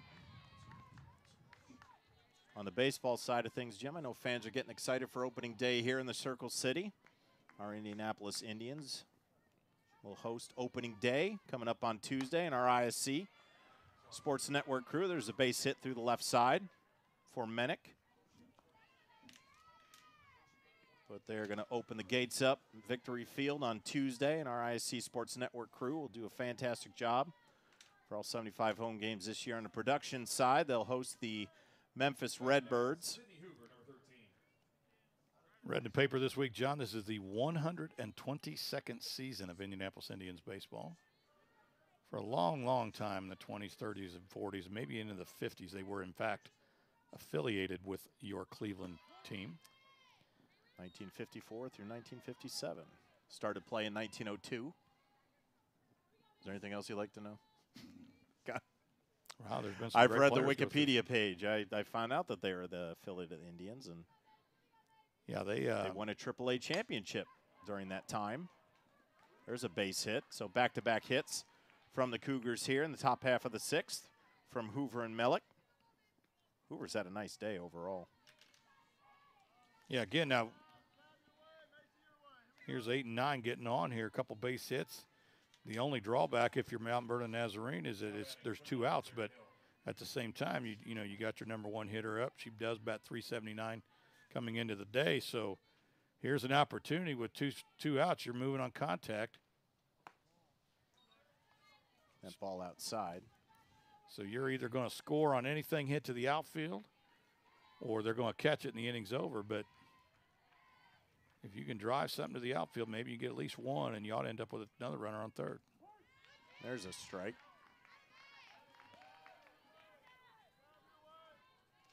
You know what? It's a pretty simple game, John. We're not docking the space shuttle. It's about getting hits and getting people in. On the defensive side, it's about getting people out. Nice pitch. Was that fouled? Apparently, as everybody stops. I didn't know if it was just an ugly pitch, and she swung and missed. Count one and two. Back to back base hits by the Cougars has Mellick and Hoover on first and second. Hill trying to capitalize. That ball outside evens it up at two and two. I like the idea, though. I like the thought process. That ball was clearly off the plate, but they were like, look, if you want to get yourself out here, do that with this.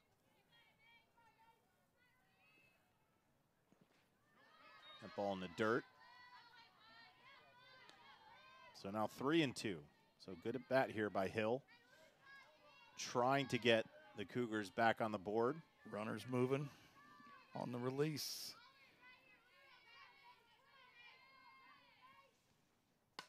And that ball fouled. And we get to come back and do it again.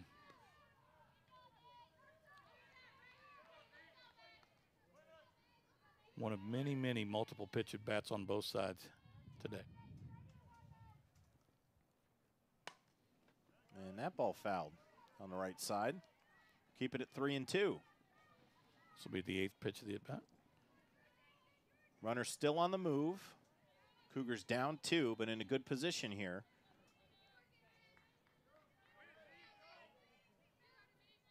He'll work working a good at bat against Cone, who's been in the whole time, despite the five runs. And there's another foul ball. Seen a lot of these today, Yeah. Jim. Now, again, this may have been where, and I think this is where an assistant coach becomes real important, John, where they may come up to the head coach and say, hey, do we have anybody that can score from first, you know, on, on a base hit? Is there anybody we can sub in? And will that end it to Hoffman? It will. So a good at bat from Hill ends in a fly out to Hoffman. That'll end the threat.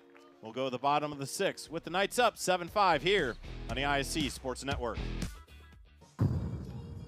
Bottom of the sixth here on the campus of Marian University has the hometown Knights ahead of the Mount Vernon Nazarene Cougars 7 5 on a beautiful Saturday afternoon here in the Circle City. Alongside my broadcast partner Jim Leisure, I'm John Cupo. I want to thank our fantastic ISC Sports Network crew.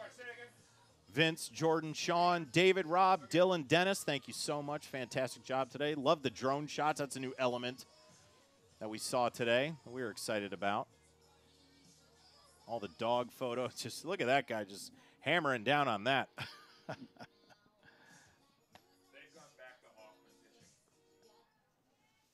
and we have a new pitcher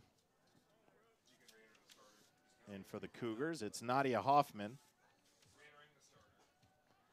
Re entering. She was a starter of this game, coming back.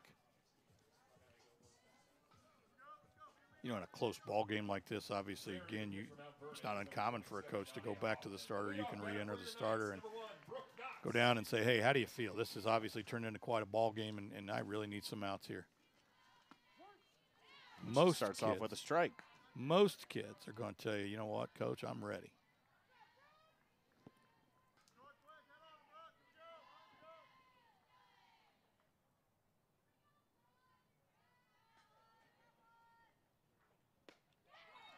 Knox swings through that one, 0 2.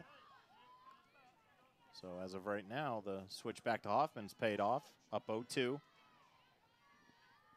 On the Knights' second hole hitter, Brooke Knox.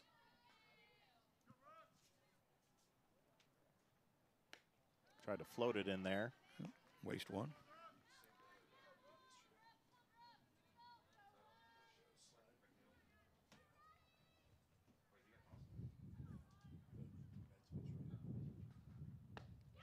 And swings through that one.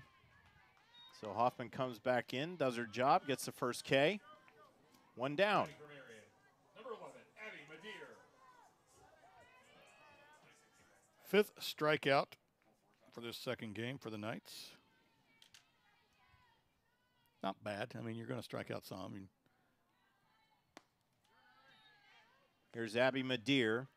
Had a base hit and scored in that fifth inning. Which got the Knights to the two run advantage, scoring five runs in that bottom half of the fifth. That ball inside, oh. 2 0.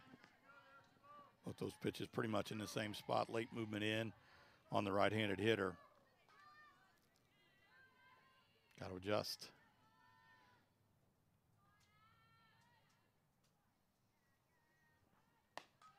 That ball high, oh. 3 0. Sometimes it can be as simple, John, of just where you're placing your foot on the pitcher's rubber. If you're leaving everything, in this case, to the pitcher's uh, pitching hand side, move over a little bit, move over three inches. Madeir wanted to go, but the umpire said, Stay here, young lady, and try this again. Now, oftentimes, if, if the movement is subtle enough, you know, the hitter doesn't even notice.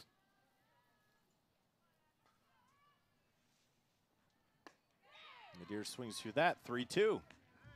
Now, again, she's on the. Uh, Hoffman is right in the center of the pitching rubber, so if she were to move all the way to the left, all the way to the right, then obviously that's a tell, but sometimes you can just move an inch or two and no one notices. And that's a sky ball. And it finds its way out of the ballpark.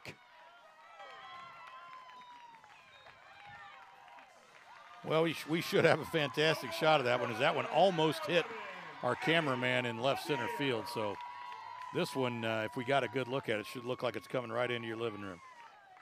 That ball needed a calendar as far as timing to get out of the ballpark, but it did. Yep. Deep to center field. And four bases for Abby Madeir. So you're going to see it there. It just carries, carries, carries, and drops right over the fence and right in front of the little camera stand there. So she gets the crown. Batting for the Knights now, it's number four, Sierra Norman.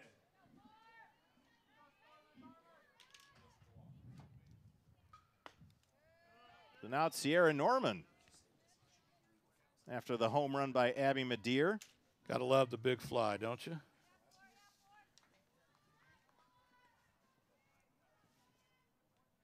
That's her first of the season. That ball inside. 2 0 to Norman.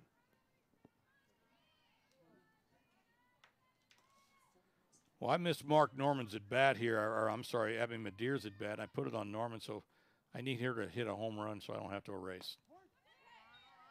And that ball found the corner. 2 1 to Norman. She got hit by a pitch in that fifth inning, and she also scored.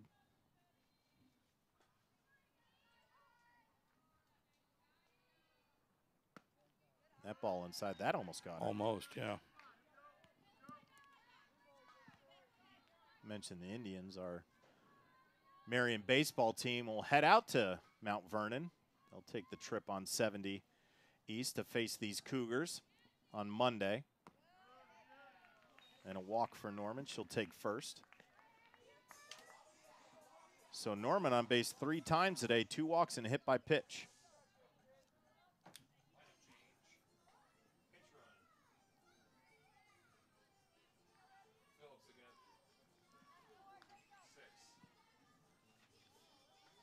We're going to see a pinch runner. That's Emily Phillips.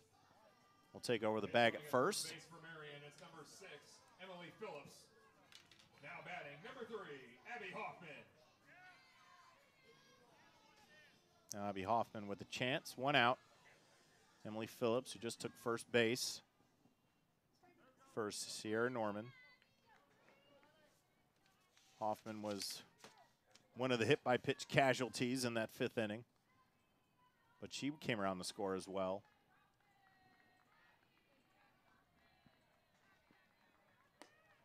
That ball high. Score is 8 5 and a long ball, courtesy of Abby Madeir, her first on the season. What a time to get your first one.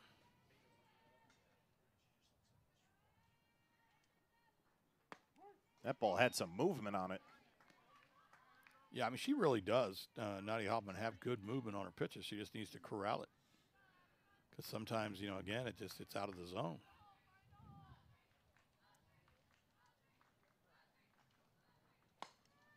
And there's a blooper to short, handled by Hancock, and Phillips will retreat to first.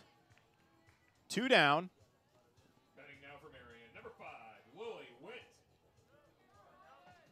Phillips does a nice job running the base. It's not hard. I mean, the play's right in front of you, but I have seen kids doubled up in that situation because they're just not paying attention. Two outs now, so running on contact. Lily went big base hit in that fifth inning. She also scored. Phillips with a huge secondary lead there. Let's see if they're going to put her in motion and try to get her to second base and score another one. Ball high 2 0.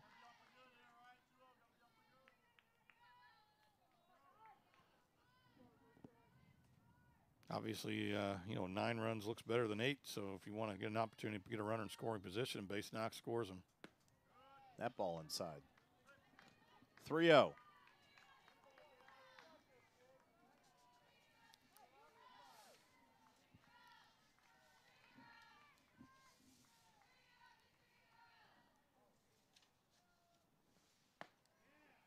And Went takes it on four. So four pitches and a walk for the former Bishop Chatard Trojan. Now runners on first and second. Ella Piercy is going to pitch run for the catcher win.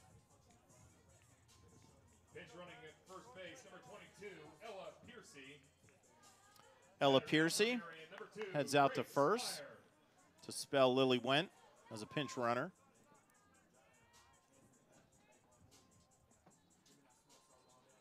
That is the 10th free pass, either by walk or hit by pitch today for the uh, Cougar pitchers. And then again, when you when you go back and look at the game and you break it down and you say, all right, let's say the, the score stays three. You know, we, we lost by three, but we gave them 10 free bags.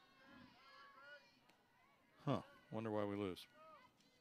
And this gives Grace Meyer another chance. And Jim, you had mentioned a few times when you're in your seven hole and you have her batting 426 coming into this one.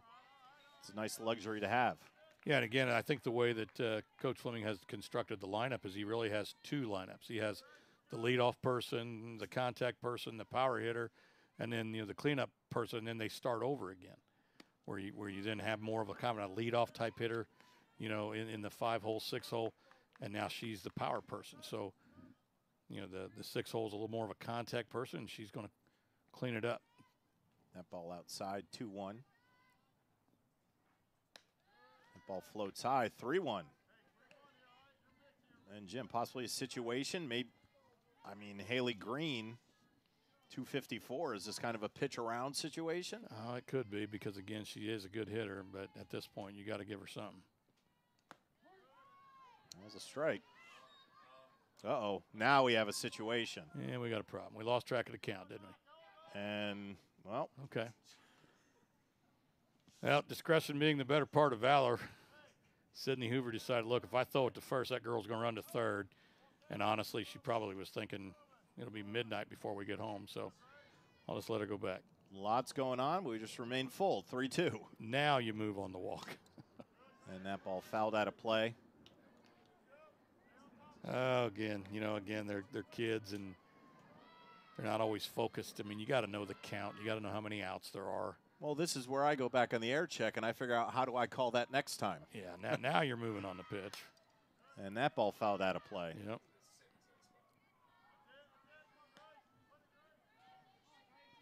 So runners on first and second. Meyer having a good at bat here, trying to stay alive. Marian up 8 5 on the home run by Madeir. That ball outside, works the walk, bases loaded. So the 11th free pass. And that's going to bring up Haley Green, who put one to the fence her last at bat. So she's seeing it, right? You got to see it well. That ball high.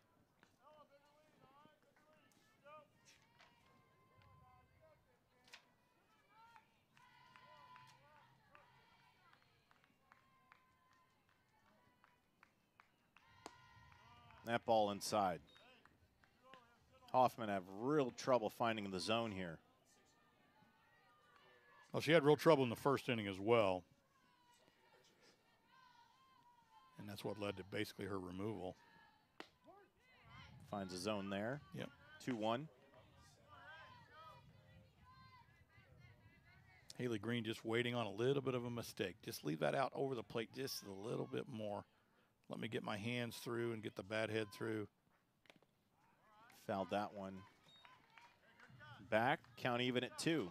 a nice cut at it. Got to see it, right? You know, your, your, eyes go all the way down. I, they always say, see the ball hit the bat. And in all the years that I played, I never, ever saw the, I, I just couldn't do it. My eyes weren't that good. But that's what you want to do. You want to take your eyes to the ball, to the bat. And she swings through that. So Hoffman gets out of it. But the Knights get one on the long ball by Abby Madeir. We'll go to the top of the seventh. The Cougars have one more shot here on the ISC Sports Network. At Indiana Members Credit Union, we're invested in more than just your finances. We're invested in your future, the future of your family, the well being of the community you live in, and in those who dream big. Until those dreams become a reality, any bank can give you a loan or open an account. At IMCU, we care about more than just dollars and cents. We care about doing things that make sense. And investing in you makes good sense to us. There's something that may surprise you about Marian University.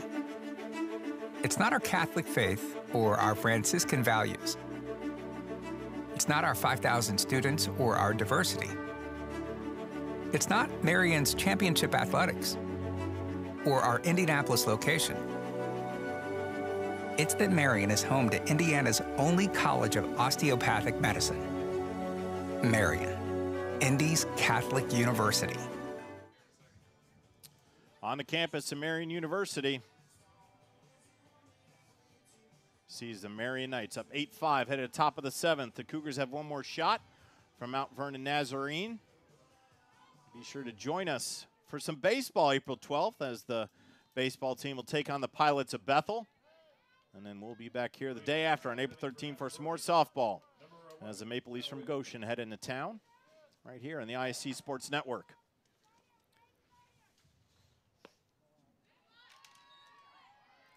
Mallory Holcomb to lead things off. And if you're Coach Howland again, I, or Howell, I'd been in worse situations. You got two, three, four. You got a shot at it. And little floater to left field drops. So Holcomb starts things off in the right fashion for the Cougars.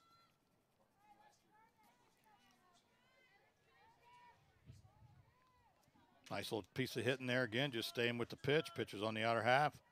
Instead of trying to pull it and grounding out weakly to the second baseman, you just kind of slap it out in left field. Left fielder was playing short. Abbie Hoffman was playing kind of in, but that one was perfectly placed.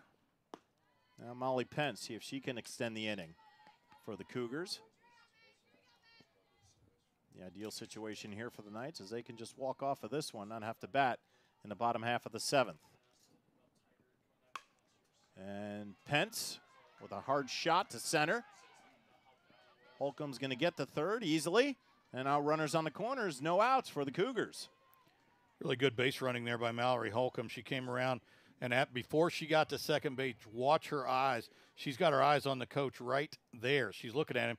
And again, he's obviously sending her on. And nice job. The ball was in right center. Easy play. But again, I like the base running.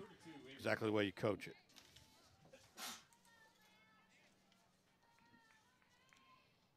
Avery Miller. Runners on the corners, nobody out. Mount Vernon down three. That ball high and outside. Nobody up in the bullpen, I don't believe, for Marian. It's kind of hard. I don't think I. I, think their bullpen is, is in play, and there's nobody down there. There's a strike.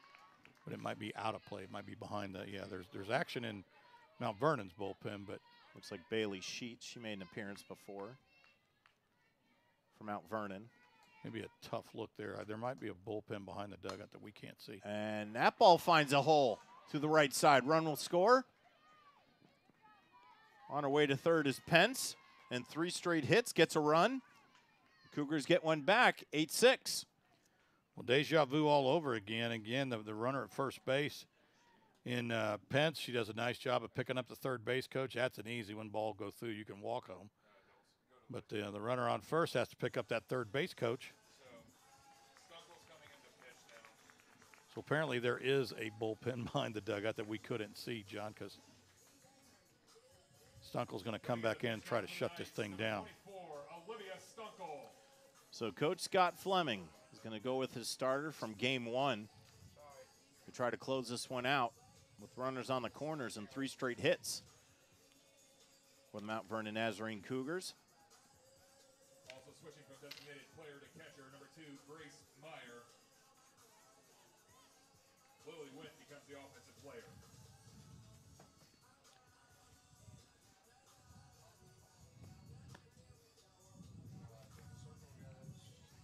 And Jim, you mentioned it before that certain pitchers have certain catchers they Mhm. want to go with, Yep. and Grace Meyer put on the gear, and she'll be behind the dish. Yeah, you know, again, like any other game, this this game, a lot of it is mental, and you got to feel comfortable with the people around you and the people you know who are catching you or whatever. But if that's a simple move for a coach, if that's what you want, let you know, let's go ahead and do it. And going to be Stunkel's 15th appearance. Again, starting game one, going the whole game. But a little different situation here coming in. Runners on the corners, nobody out. Down two is Mount Vernon. But three straight hits, and there's a little bit more sugar on those hits this time around, Jim. It wasn't the kind of the soft liners that we saw, but this this is Mount Vernon baseball. What This we're seeing. Yeah, this is, and you know, we talked about it how, you know, if you're going to do it, you're going to do it probably with you know one, two, three, four, five, and that's you know when you can lead the seventh inning off with the two hole, and then three gets a hit, and you know, two gets a hit, three gets a hit, four gets a hit. That's kind of the way you're supposed to do it. And that's out of the zone. Yeah, I don't think for a second that she's going to bunt here. You're not going to give away an out when you're down two runs. Hannah McCoy is on first base for Mount Vernon. More speed. Try to get that run in. Stunkel high, 2 0. And to me, these are just 100% takes. You know, you're just going to show that that bunt there just to give the pitcher something to think about. But if I'm the pitcher, I'm looking at the glove. She's not going to bunt. And she slaps it over to second. Oh, and throws it away. Run will score. Harwiger couldn't grab it. Well, again, you got exactly really what you wanted. You were going to give up the run, and you, you you want to have a shot at the double play, but to throw just a little bit wide of the the shortstop covering, and uh, again, just honestly a bit of a disaster almost for for Marian here as you now have first and second and nobody out. So there's a strike from Stunkel. And she certainly has some work to do here. Nobody out, runners on first and second. Mount Vernon has got two back already and nobody out. Now wouldn't surprise me. Now you lay a bunt down here and you get runners, you know, both runners in scoring position. Before I wouldn't have done it. Now I might. Depends on who you got bunting. I mean, if you know the the hitter struggles to bunt, you don't do it. Crum has put it in the play all three times this afternoon. Didn't play in game one, is one for three. Had a base hit in her first at bat.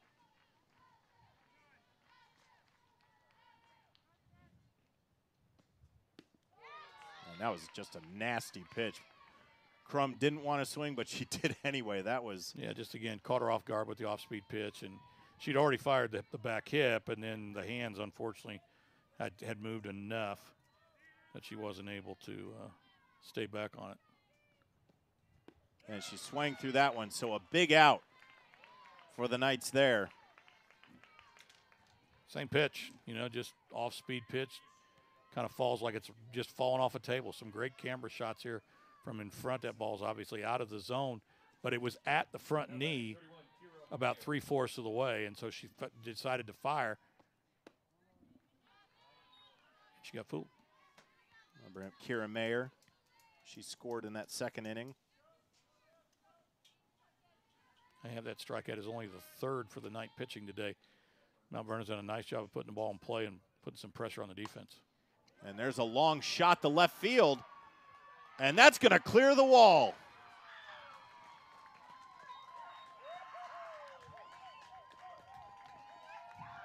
Stunkel put a charge into a pitch. And Meyer put the charge to let it leave the ballpark. 10 8, Mount Vernon. How about that? What an at bat for the young lady here, and she's getting a bucket of something. I don't know what it is. There, the young lady has their, their little home run celebration, but just pitch on the inner half. She opens the front hips, fires the hands inside, gets the fat part of the bat all the way around, and that's what you do to an inside pitch. You pull it and you put a charge in it. Nice job.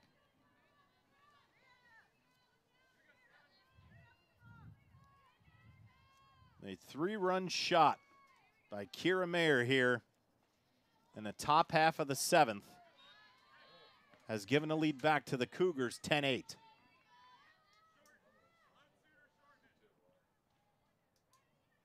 Well, you got to get eight and nine here, right? I mean, you can't let this continue. Millick swings through it. Down 0 2. And Jim, in a fashion that, you know, we had just talked about how Mount Vernon got to this point, but that is not Mount Vernon softball. Well, that, that big fly obviously isn't. I mean, they, they've only got, I think, came into the ball game with, or the, the day with five home runs as a team. But you know what? Again, it, get them when you need them, right? Again, it, you know, like, you're down 11 to 1, kid goes deep, who cares, right? Either way, whether it's 12 to 1 or 12 to 2 uh, or 11 to 2, get them when, when there's ducks on, and she did. And Meyer put a charge into that one. There's Sydney Hoover, swings through that one, 0 1.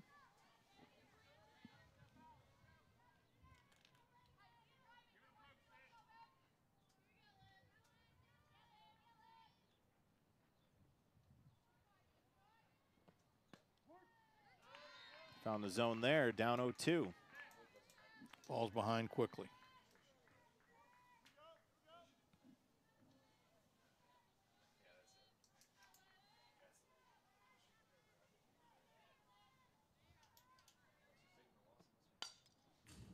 Ball slapped Boy, to the she- fence on the right side. She hit the absolute back half of that one, right? I mean, just barely got the the end of the bat on the, the side of the of the softball.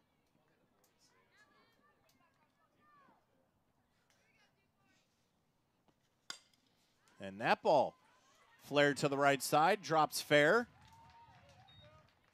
And Hoover gets a base hit. And she continues her good day. She's three for four in the second game. Fifth hit of the inning, John, and we are back to the basically almost to the top. We're about about ready to bat around.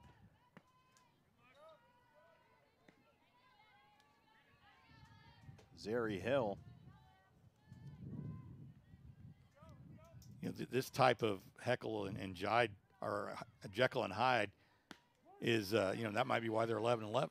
You know, coming into this thing is because they don't, they have a game where they don't play real well, and then they have another game where they play really well, and you got to find obviously the a, a way to break that tie. That ball skips in the dirt. 2 1.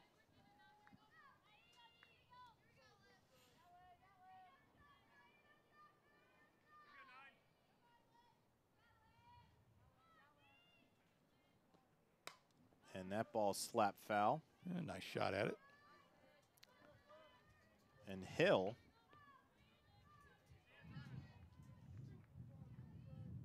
the only Cougar yet to reach base in this second game.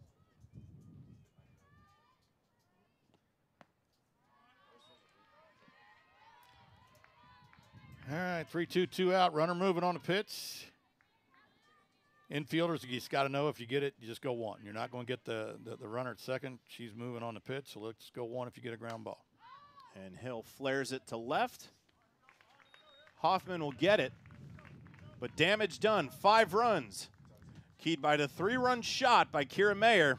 It's 10 8. Knights got one more chance. Bottom of the seventh coming up on the ISC Sports Network. This is the Pepsi for America's best barbecue. Worthy of 100 mile detours and a thousand likes. Looks good. This is the Pepsi for mopping, dipping, and dousing. Whatever you're craving, this is the Pepsi for you. This is the Pepsi for serious fans and serious eats. This is the Pepsi for Sundays at the ballpark and days off at your favorite pizza joint. Right, Aaron? Best slice in New York. Whatever you're craving, this is the Pepsi for you. Marian University is like a home to me. Campus is where I made friends that I know will last a lifetime. Academics, sports, or arts, Marian's got something for you. Plus, downtown Indy is just 10 minutes away from campus. I'm a huge sports fan. Living in Indy, I've got the Knights, the Colts, and the Pacers. Applying was so fast and easy. I went to Marian for the education, but what I took away was the experience. Marian University offers an exceptional education and an unforgettable experience. Apply today for full scholarship consideration at marian.edu. Doyle Hall. And if they're watching on the ISC Sports Network, they just saw one heck of a comeback inning by the Mount Vernon Nazarene Cougars as they exploded for five runs. Look at the air conditioning units in the window. You know, when I went to college, we didn't have no Manby, Pamby air conditioning. You sat in your dorm room and you sweated till you passed out. That's what you did. Jim, we- only have a half inning left. At one point, maybe a positive comment about your life. It's not At easy. some point. It's not easy being me. That's all I'm looking for. All right. So the Knights got 9 1 2. Jenna Minix has got to be about as good a nine hole hitter as you can find. She bats almost 300. She's probably going to be taking a little bit, or maybe, again, I, I would have my kids take unless they found the favorite pitch. That ball high. You need base runners. And Nadia Hoffman has not been very consistent. She started the ball game. And you don't want to get yourself out. That's the biggest thing. and finds a zone there, 1 1. Don't hit the pitcher's pitch. You want to hit your pitch. And now she's probably, honestly, she's got the at bat back. Coach took it away from her going up there, but now 1 1. He's like, okay, now just play it normal. That ball sails in. Took a little bit off of it. Nice, nice decision. Again, give that hitter something to think about. You just throwing the changeup for a strike, or you coming back with gas, you coming back with a changeup. And that's a flare to left. Crum will get under it. Out number one. Well, she came back with the off speed, but and Jenna got a, little bit of a piece of it, but advantage pitcher there. Knights down to two more outs. See if they can get those two runs back and possibly a third to end this here in the bottom of the seventh.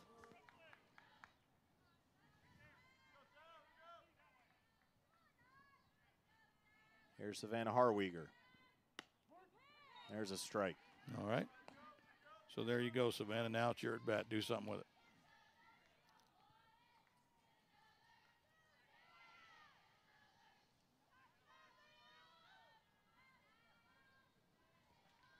And she bunts. She's got the speed, and she will beat that out easily. Nicely done. Very nice. Caught the Cougars napping just a little bit defensively. Again, a great bunt just deadens the ball and has the wheels to, to beat it out, as you imagine a leadoff hitter would. Now, remember, she's, I think, 11 of 11. 18. 18 18. 18 for 18. So now you got to be cautious. There's the pitch out. 1 0. So Brooke Knox now with a chance. Had the walk in the first inning, scored, but has been silent since. See if she can do something here in the seventh. Swings through that one. One and two. One and one. Yeah. Now again, I don't know. You could you could pitch out here. I mean, you could make it two one. You'd still be basically even in the count. And that ball straight up. Mary will field it two down. Knights down to their final out. Home run in the phone booth, John. You're not old enough to remember a phone booth. It was a little room where you would go in and make a phone call if you had a quarter. Superman used to get dressed in a phone booth. Is any of this ringing? a Why, bell? why would I not know that? Because you're a fetus with shoes. That's why you're young.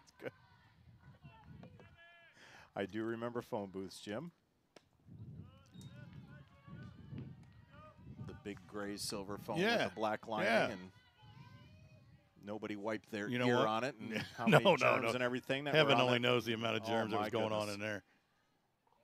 Before we had the Bath and Body sanitizing spray to do a little Yeah. a little handwork on those things. I don't know how we got into this conversation, but I don't either. But we'll leave it oh- up to Abby Madeir, who sent two one old over pitch. the fence. Yeah, I was gonna say two old pitch is a good one to hit it over the wall. And there's a strike. 2 1. Madeir's had herself a good day. Hit by pitch, single, hit the home run. She scored three times. But she needs a big one here. Down two, and down to the final out. That ball straight up. Melick gets it, and that'll do it. The Cougars defeat the Knights 10 to 8. Knights drop to 23 and 5, and the Cougars move back to 500 at 13 and 13. On behalf of my broadcast partner Jim Leisure and our entire ISC Sports Network crew, I'm John Cupo, and we thank you for joining us this afternoon for this Crossroads League matchup. Our final for Marian, the Mount Vernon Nazarene Cougars 10, Marian Knights 8. Have a great weekend, everybody.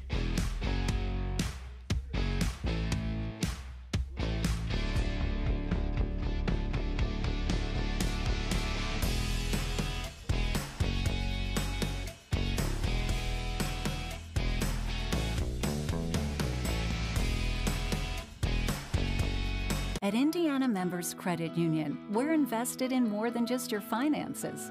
We're invested in your future, the future of your family, the well being of the community you live in, and in those who dream big.